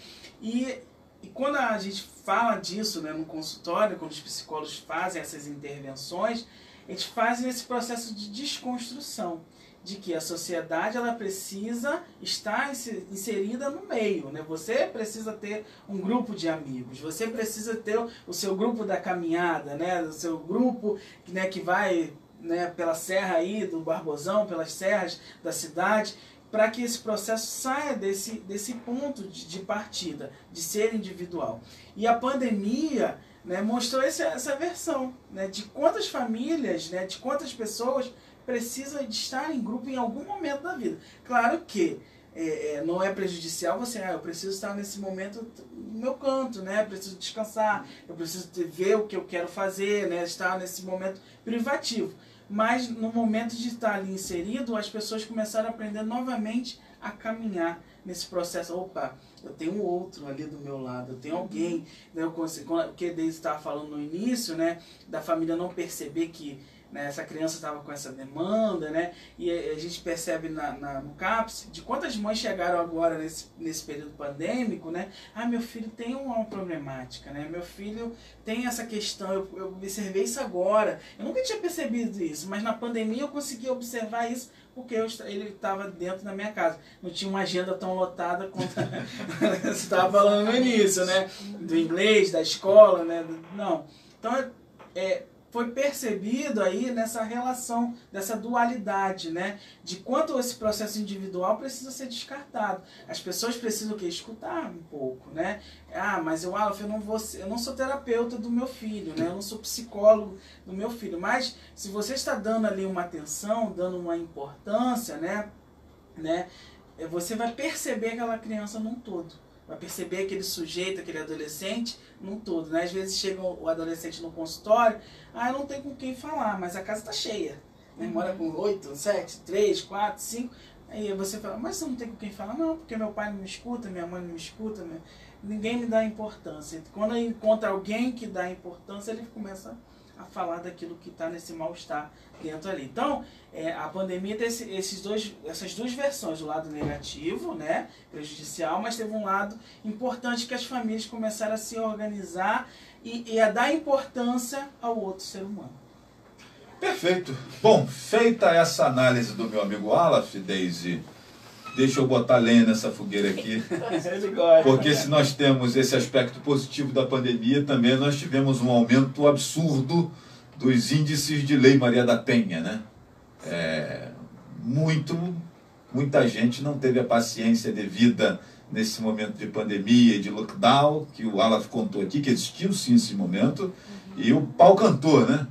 Marido bateu em mulher, mulher bateu em marido, filho bateu em pai, pai bateu em filho, e nunca se teve tantos registros de violência doméstica quanto nesse tempo. E aí?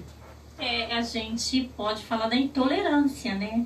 Porque é, esses maridos ou essas mulheres saíam para trabalhar, saíam para fazer alguma coisa, caminhar, futebol, eles tinham suas atividades e não tinham, eles inventavam né? Ou um ou outro. Agora, em se tratando dessa violência, eles tiveram que ficar em casa com essa mulher.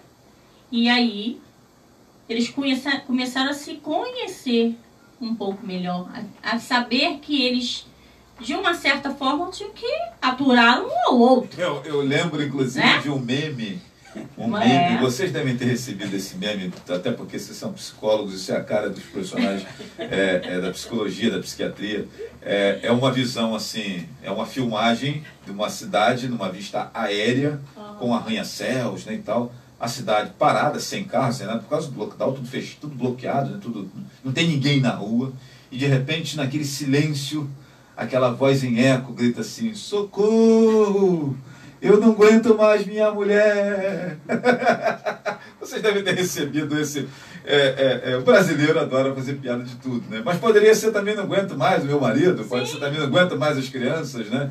É, os idosos, sobretudo, que não quiseram saber desse negócio de lockdown, e aí foram vários memes também, de Deus segurando o velhinho que estava fugindo por baixo do portão, pulando muro, aquela coisa toda, né? Sai de casa. Né? porque não entendiam essa coisa do fica em casa, né? Sim, é porque é, é um, e, e, e nessa, nessa coisa de ficar em casa, foi a convivência, né?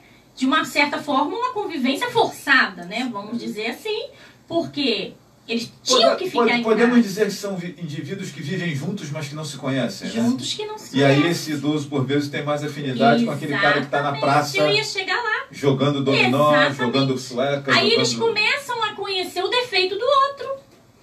Começa a conhecer algo que está incomodando, que antes não via, porque eu não tenho tempo, tô indo. E quando começava a incomodar, pegava a porta, abria e saía. Porque ele tinha o livre-arbítrio, ele E vai pra podia onde sair. agora, né? Vou sair. Agora, com a pandemia, ia pra onde? Não podia. Então ele tinha que conviver, ele ou ela, né? Um casal tinha que conviver um com o outro. E aí, infelizmente, veio essa intolerância e essa coisa, né, que eu, eu acho assim, infelizmente, péssima de se resolver tudo no braço e não te aguento mais e você vou fazer e vou acontecer porque ele mesmo não estava aguentando mais essa situação. Então, infelizmente, a pandemia veio mostrar muitas coisas que já estavam ocultas, Tava ali, né? já estava ali o tempo inteiro, né? Mas fingimos que não. Mas fingia mas, mas que estava não estava acontecendo. Tipo assim, moramos na mesma casa, né? Vamos pousar de casal legal, mas cada um a sua, né? Você vive a sua vida, eu vivo a minha, tô saindo, tá tudo bem, tô te aturando. Mas aí quando você tem que ficar junto, É o choque. aí entra o choque. Aí deu merda. Deu ruim, né? Deixa eu mandar um abraço aqui para Maria da Guia Chaves, minha amiga Maria da Guia, que trabalha aí com, com a questão da dependência química também, na pastoral da, da sobriedade, né? Junto na- com a rapaziada lá da Nossa Senhora da Piedade, lá com meu amigo Nédio, né? E já esteve aqui no nosso programa algumas vezes falando de assuntos similares ao que nós estamos conversando aqui. Parabéns, esse eu conheço, gente da melhor qualidade. Abraço, Maria da Guia, prazer receber você aqui. Meu amigo Léo Peclá, que ontem estava aqui, numa conversa que foi um sucesso também. Desejo sucesso nessa missão essencial e prioritária nesse mal-estar atual, diz aqui o Léo. A Nilcilene diz aqui, pergunta para eles, Flávio, como lidar com o preconceito, né? Como lidam com o preconceito, muitas das vezes do próprio paciente, que trabalha muito o tratamento, a aceitação do problema, né? É, Você... Bom, Flávio, bom que você generalizou, diz aqui ela, de repente o preconceito seria menor quando se fala de psiquiatra, psicólogo, terapia, etc. Né? Ela falando aqui da questão que nós envolvemos todos os profissionais é, dessa, dessa ponta. E a minha amiga Zaninha, a Rosane de Melo Tinoco, parabéns pelo trabalho, coloco aqui, Zaninha que trabalha em Rio Bonito também na, na psiquiatria, lá no CAPS, né, também, coordenando lá uma, uma parte, é o CAPS, se não me engano, não é? Ela coordena a saúde mental. Coordena a saúde mental, Bonito. isso, Um é, abraço, isso. Rosane. Abraço para a Rosane. E então vamos lá, vamos, vamos, vamos aqui falar dessa questão aqui do, do preconceito trazido aqui pela Nilcilene Faria. Né? É, e, e, e assim, gente, preconceito, né? assim como a- existe a palavra preocupação, ou seja, quando você se ocupa antes, antes da hora, digamos assim, né? nós estamos ocupados aqui com o programa Flávio Azevedo, está acontecendo agora. Mas tem um sujeito que, quando ele é convidado, ele já fica preocupado uma semana antes, porque ele não sabe o que eu vou perguntar, qual vai ser o assunto, qual vai ser a reação das pessoas. Uma semana antes ele já está nervoso, né? É, ele está pré-ocupado. Então, já está ocupado com o programa que vai acontecer. O pré-conceito é mais ou menos isso também, né? É, você tem um conceito das coisas. E aí o sujeito faz um pré. Ou seja, ele faz uma análise dele antes de conceituar, antes de conhecer, antes de ver, antes de, de ter as, a experiência e o contato com algo, né? É, é, aí nasce a questão do, do, do preconceito. Ah, fiz aqui esse, esse preâmbulo aqui para a gente falar desse, desse, desse tema. Também é, o Alaf e, e Daisy. Como lidar com essa questão do preconceito? E aí é, é, eu queria falar sobre tudo, né?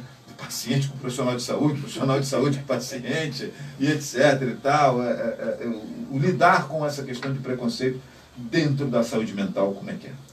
Eu acho que o preconceito ele é, é descaracterizado é, quando a equipe em saúde mental, no geral, faz a questão do acolhimento, né? Que a gente percebe no acolhimento, né, quando esse paciente chega com preconceito da sua própria característica, né? A gente entende ali, opa, ele tem essa dificuldade, a gente vai traçar um plano terapêutico para que se possa trabalhar dessa forma, né?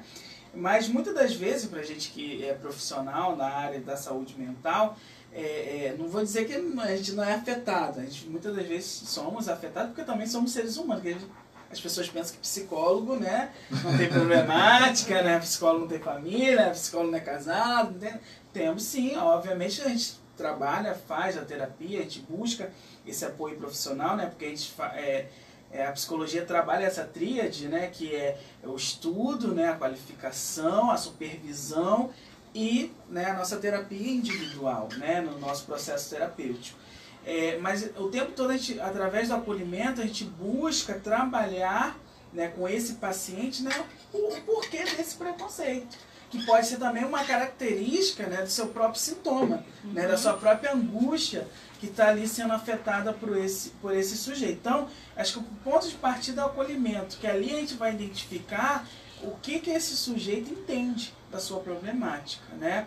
É, tanto de, de, do, do paciente com o profissional, que às vezes a gente acontece isso, né? Muitas das vezes. Uma, né? Chega a ser um preconceito ou não ser, né? Às vezes, ah, eu quero ser atendida pela psicóloga tal, né? Pela psicóloga tal, tal, mas porque eu me identifico com esse psicólogo, com esse psiquiatra. E todos eles são técnicos de saúde mental, né? Então a gente tenta articular com esse sujeito, né, a melhor forma para que isso não atrapalhe o, o seu andamento, o seu atendimento e o seu processo terapêutico. Abrindo aqui rapidamente um parênteses, eu lembro de uma denúncia que eu recebi de que estavam faltando cardiologista no Loyola, aqui em Rio Bonito. E eu fui lá. Cheguei lá e descobri que estava faltando vagas para Dr. José Leles. Que todo mundo queria consultar com o Dr. José Leles. E aí a coordenadora falou comigo assim, Flávio, ó, doutor Paulo Sérgio só tem cinco, doutor fulano, doutor Nelson só tem não sei quanto. Então, nós temos seis cardiologistas aqui.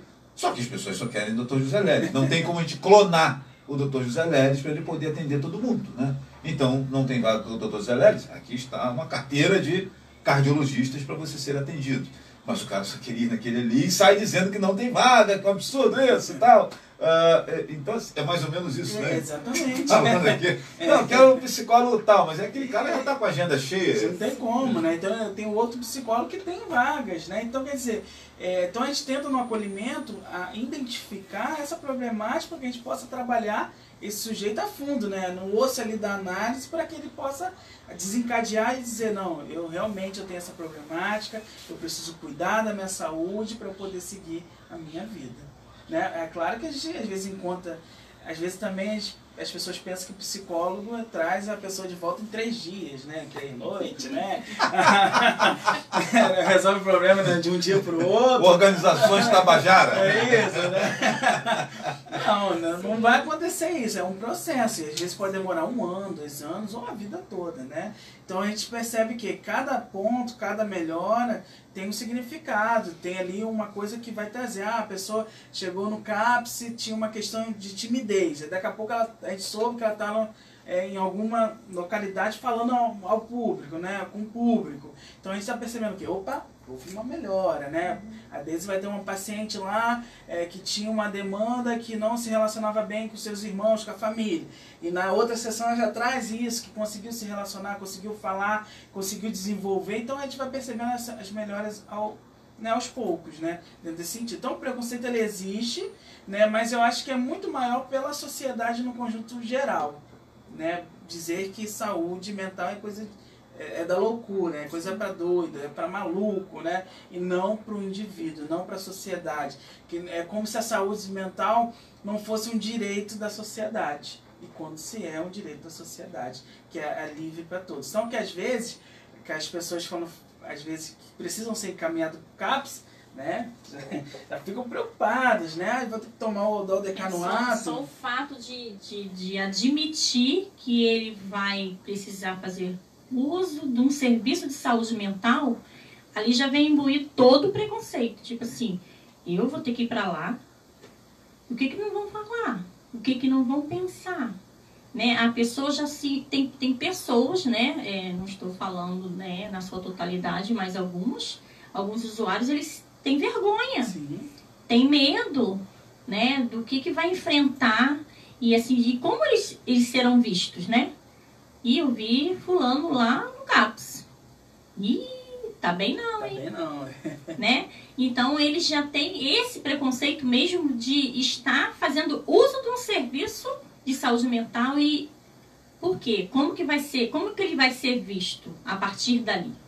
Né? E aí a gente quer é, realmente fazer com que essa população entenda que nós estamos ali para ajudá-los a se conhecer um pouco melhor, a entender suas frustrações, suas ansiedades, seus problemas, a, a cuidar, a tratar de uma forma, né, com pessoas que Isso. E existe também, né, Deise, uma questão que a gente sempre bate, a questão do sigilo profissional. sim, né? Desde o momento que você dá a entrada ao serviço público, seja ele o CAPS ou ambulatório, né? é ali a questão do sigilo profissional. Nada sai dali, né? Fica ali, né? Com o seu psicólogo, né? Com o seu psiquiatra, né? Com o seu terapeuta ocupacional, com, os, com a enfermagem, né? Porque a gente garante, né? Um processo, né? Em lei, tanto no nosso código de ética de psicólogo, de serviço social, a questão do sigilo profissional. Porque às vezes as pessoas têm essa preocupação, ah, eu vou lá no CAPS, né? Ser visto, alguém vai falar? Não, é sigilo profissional. Então, às vezes, é, é, muitos pacientes me encontram na rua, às vezes eu nem falo. Porque as pessoas falam assim, "Ah, por que com ela não falou? Porque eu não quero que a pessoa seja identificada com o, o usuário, se ele não sentir à vontade. Agora, se o paciente veio e falou comigo, sentou, cumprimentou, opa, vamos sentar e cumprimentar e conversar. Pela mesma razão que o porteiro do motel não te recebe com sorriso no rosto. Né? É, que legal. Aí Chega no motel e aí o cara que tá na portaria me diz, ô, o senhor por aqui de novo, né? Semana passada, tá, melhorou aquela dor de cabeça e tal. Olhar que tá do lado vai olhar assim, meu irmão, o que, que tá acontecendo aí, né? Então, Exatamente. então nós temos algumas, algumas atividades, galera, que tem que ter esse tipo de comportamento, né? Do sigilo. Agora, é, é, já que nós descontraímos, né? É, ontem eu falava com o Léo Peclá aqui, viu, é, é, Daisy e o Alaf. Nós precisamos começar a olhar a saúde mental da mesma maneira que a gente olha o cardiopata. Sim. Ninguém sai falando bobagem do sujeito que foi visto no cardiologista, que foi visto ali no gastro, que foi visto, ele está buscando um atendimento que ele está com problema de saúde, né? Por que que na hora que você vê o camarada ah, ah, no psicólogo, no psiquiatra, ou no analista, sei lá quem for, você vai sair, né? É, é, são é, é, o psicólogo e o oncologista, né? Quando recebe a visita de alguém, logo gera gera comentário, gera, ih, rapaz, tava lá em doutor fulano, hein? Doutor fulano trabalha com câncer, né? Com paciente com câncer. Aí gera logo aquele, aquele burburinho, né? Sobretudo em cidades menores igual a nossa, isso é natural acontecer. E, e, e assim, tem como pautar isso lá também na, na, no Conselho Municipal de Saúde Mental, criarmos gatilhos e, e- e instrumentos que eh, eh, mostrem à sociedade a necessidade de encararmos a doença mental com a mesma naturalidade que encaramos a diabetes, a pressão alta. É uma doença. Sim, sim. Né? Eu acho que o, o ponto inicial é quando a gente faz esse trabalho que o CAPS agora, a Saúde Mental do Município, vem desenvolvendo, que é junto com o matriciamento, é a divulgação. Né? Ir nas escolas, ir nas comunidades evangélicas, católicas, né? É conversar, dialogar, palestrar, mostrar para essa população que a saúde mental está ali e ela precisa desse cuidado. Né? No momento que a gente se omite, se a gente se cala né? e fica lá escondidinho, né? isso não vai acontecer. Então a população não vai entender que precisa desse cuidado. Por exemplo, nesse mês de janeiro branco, após a conferência, no último, na última semana de janeiro, a gente vai para as ruas do centro da cidade para divulgar a questão do cuidado da saúde mental, né? Dizendo, opa, você precisa de cuidado. Está sentindo alguma coisa? Quer falar? Está com algum sintoma? Procure as nossas unidades de saúde mental do nosso município. Tanto que a gente, no início da, da, do ano, ano passado, né? No início da gestão, a gente fez um treinamento com os agentes comunitários de saúde, porque a gente entende que eles estão na ponta, porque eles estão todo dia lá, fulano, dona de casa, vim aqui ver como é que a senhora está, a hipertensão, diabetes. E por que não perguntar sobre a saúde mental? Né? E por que perguntar se está tudo bem? E ali vai falar, não, porque aconteceu isso, né? Eu briguei com meu marido, aconteceu isso, eu não estou bem, não estou dormindo, estou com uma insônia, estou com isso, opa, alguma coisa ali precisa ser cuidado, precisa de uma intervenção. Aí encaminha para o médico do postinho, o médico clínico, e ele vai perceber, ele vai encaminhar a especialidade que é o, o psiquiatria ou é o psicólogo, né, vai referenciar para o CAPS ou para o ambulatório. Então, é, é, a gente começou a entender que precisamos de uma intervenção na base. Qual é a base? É lá na posse, é em Duques, é, é, na Vila Corte, né? Se, se, todas as gestões fizerem isso, entenderem que a atenção básica é, é aliada da, da atenção psicossocial, andar lado a lado, a gente vai ter uma, é, um entendimento melhor da sociedade. Quantos, quantos psicólogos nós temos hoje em Tanguá, na rede? Hoje temos 15. 15 psicólogos dá suporte aí. Isso estou contando tanto do CAPS como Sim, do, do ambulatório. Né? E tá cheio.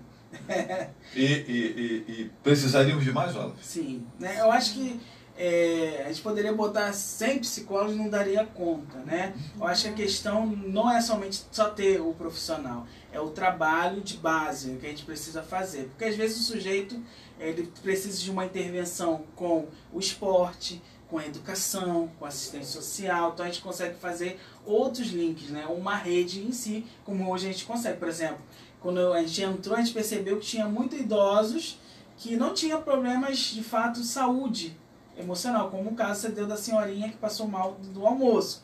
Era um caso que ela precisava falar, tá em convivência. Então a gente começou a encaminhar esses idosos para as atividades com a PIL, né, nos, nas, nos bairros, né, atividades da terceira idade e começaram a participar e começaram a ganhar alta, porque não tinha mais demandas de saúde, não tinha mais demanda psíquica. Às vezes é muito uma demanda social também, não tem com quem falar, perdeu alguém, né, e tá só se sentindo muito sozinho. Então, outros serviços, né, vou dar um exemplo. Quando a cidade estava enfeitada no Natal, a gente percebeu que eles estavam indo, participando, tirando foto, traz o que? Esse bem-estar social, que é a saúde mental, de uma certa forma. Bom, minha gente, recebemos hoje aqui o Alaf Oliveira, coordenador de saúde mental da Secretaria de Saúde de Tanguá, e minha amiga Deise Carvalho, psicóloga, também responsável, né, lá, uma das, das responsáveis pela, pelo bom andamento e atendimento psicológico do CAPS, do Centro de Atendimento Psicossocial, esse equipamento tão importante para a saúde mental. Caminhando aqui para o final do nosso programa, agradecendo você que está aí nos acompanhando, nos prestigiando, vamos às despedidas aqui nessa, dessa tarde. Deise, adorei conhecê-la, muito obrigado pela sua é, é, participação aqui nesta tarde, acrescentou bastante aqui em nossa conversa e seja bem-vinda sempre. Eu que agradeço muito a recepção de você nos receber e trazer assim uma pauta de um assunto tão importante, né, para toda a sociedade tanguaense Quero agradecer imensamente é, e dizer que nós estamos lá no CAPS, de portas abertas, para receber aquelas pessoas que precisam, né, de se cuidar, de cuidar da sua saúde mental, ou que seja da sua própria saúde ou de seus familiares. Nós estamos ali atentos a isso. E eu agradeço muitíssimo. Perfeito. É, quero deixar aqui o convite para você amanhã nos acompanhar, que eu recebo aqui a minha amiga Carol Monserrat. É, Carol, professora de dança em Rio Bonito. E aí nós vamos continuar falando sobre saúde mental e a importância da atividade. Eu faço trilha, outros tocam violão, outros jogam futebol. Carol trabalha com dança. E, cara, é o assunto amanhã aqui e o impacto disso na nossa vida, né? Dessa atividade. Por ver se não aguenta caminhar comigo até a Serra do Barbosão, ou até a Pedra do Navio, ou até o Sertão de Braçanana, aquela cachoeira que eu coloquei essa semana no Facebook, tá todo mundo querendo saber onde é, sobe um morro desgraçado para ir lá. Mas aí, se você não consegue ir lá, você pode fazer a dança com Carol, pode ir na academia com o Andrinho aqui na, na, na em Tanguá ou, ou em Rio Bonito, etc. Então as atividades são muitas e variadas, né? E é isso que a gente vai conversar amanhã com o Carol Monserrat. Uh, uh, o Alaf, foi um prazer grande, meu irmão, recebê-lo aqui. Sucesso na, na, na, Conferência Municipal de Saúde Mental. Eu estou me organizando para estar lá, pelo menos na parte da manhã, acompanhando lá os trabalhos, né? Conte conosco sempre que precisar dar qualquer informe à, à população de Tanguá, né, no campo da utilidade pública. E suas palavras finais nessa tarde. Eu que agradeço né, pelo carinho de sempre. é, emprestar né, essa, a comunidade de Tanguá, o município, né, as regiões vizinhas. É, e obrigado por abrir esse espaço né, de falar de saúde mental, que é tão raro, às vezes é tão difícil, mal interpretado pela nossa população. E estender o convite a toda a população de Tanguá, todas as cidades vizinhas. Né, a nossa conferência vai acontecer na segunda-feira, dia 10, ali na sala né, cultural Ana Maria Gac, né, alguns chamam de teatro, né, enfim. É, vai começar às 8 da manhã e vai até às 4 horas da tarde. Tem café da manhã, almoço, né, o lanche da tarde, então não se preocupe. Aí, Mônica, eu tenho que lá, Mônica. Yolanda que vai preparar. Yolanda, organiza aí meu ovo frito. Então, é para que a gente possa dialogar, né, pensar em políticas públicas né, para o nosso município, para o nosso estado e para o nosso governo federal, né, embasar ali, de fato, a saúde mental e a sua importância na sociedade. Então, muito obrigado, um abraço. Quero mandar um abraço também para a Natália, nossa psicóloga que está de férias, mas já está aqui ligadinha e vai estar lá também na conferência do dia 10, né, Natália? Um abraço ali e um abraço a todos. Natália está de férias, mas não tanto, né? Na- Natália Lamas. Isso. Obrigado, Natália, pela sua audiência aí. Meus amigos, Jacira, que passou aqui também deixando aqui seus, suas ponderações, seus comentários, aos nossos convidados aqui dessa tarde. Muito obrigado pelo carinho, muito obrigado aí pela, pela, é, é, é, por essa participação, os comentários que deixaram. Ah, o programa fica disponível para quem quiser assistir depois, né? Quiser mandar aí o link para um amigo, para um colega, um... compartilhar aí nas suas redes sociais, por favor, faça isso. Quero agradecer aí os nossos 31 mil seguidores no Facebook, os 58 mil inscritos no nosso canal no YouTube. Você, muito obrigado que nos acompanha. Os 10 mil, alguma coisa que a gente tem lá no, no Instagram. Muito obrigado a todos por esse carinho. Um beijo no coração né? e, e obrigado aos nossos parceiros aqui do programa Flávio Azevedo, como a, a Clinicam, Laboratório de Análises Clínicas, a Clínica Vivermed em Rio Bonito, né? a Viva Assistencial, são parceiros que nós, que nós temos, o, o, a Drogarias Viva Mais, né? entre tantos outros que são parceiros nossos, Terefrutas Rio Bonito, lá com meu amigo Leandro Ferreira no comando, abraço grande para essa galera que são os nossos parceiros aqui. E a todos que sempre nos prestigiam, muito obrigado, obrigado pelo carinho, obrigado pela audiência. E amanhã às três da tarde a gente volta com mais um programa Flávio Azevedo e amanhã falando de recreação, descontração, né? Carol Monserrat é dentista, mas também dá aula de dança. Então vamos fazer aqui um, uma miscelânea aqui nesse negócio. Certamente ela vai dizer que para dançar bonito tem que ter um sorriso bonito também. Aí ela mata dois coelhos com a cajadada só. gente, um abraço grande, um beijo no coração. A gente vai ficando por aqui. Obrigado pelo carinho. Vamos em frente e até amanhã às três da tarde. Valeu, abraço. Um.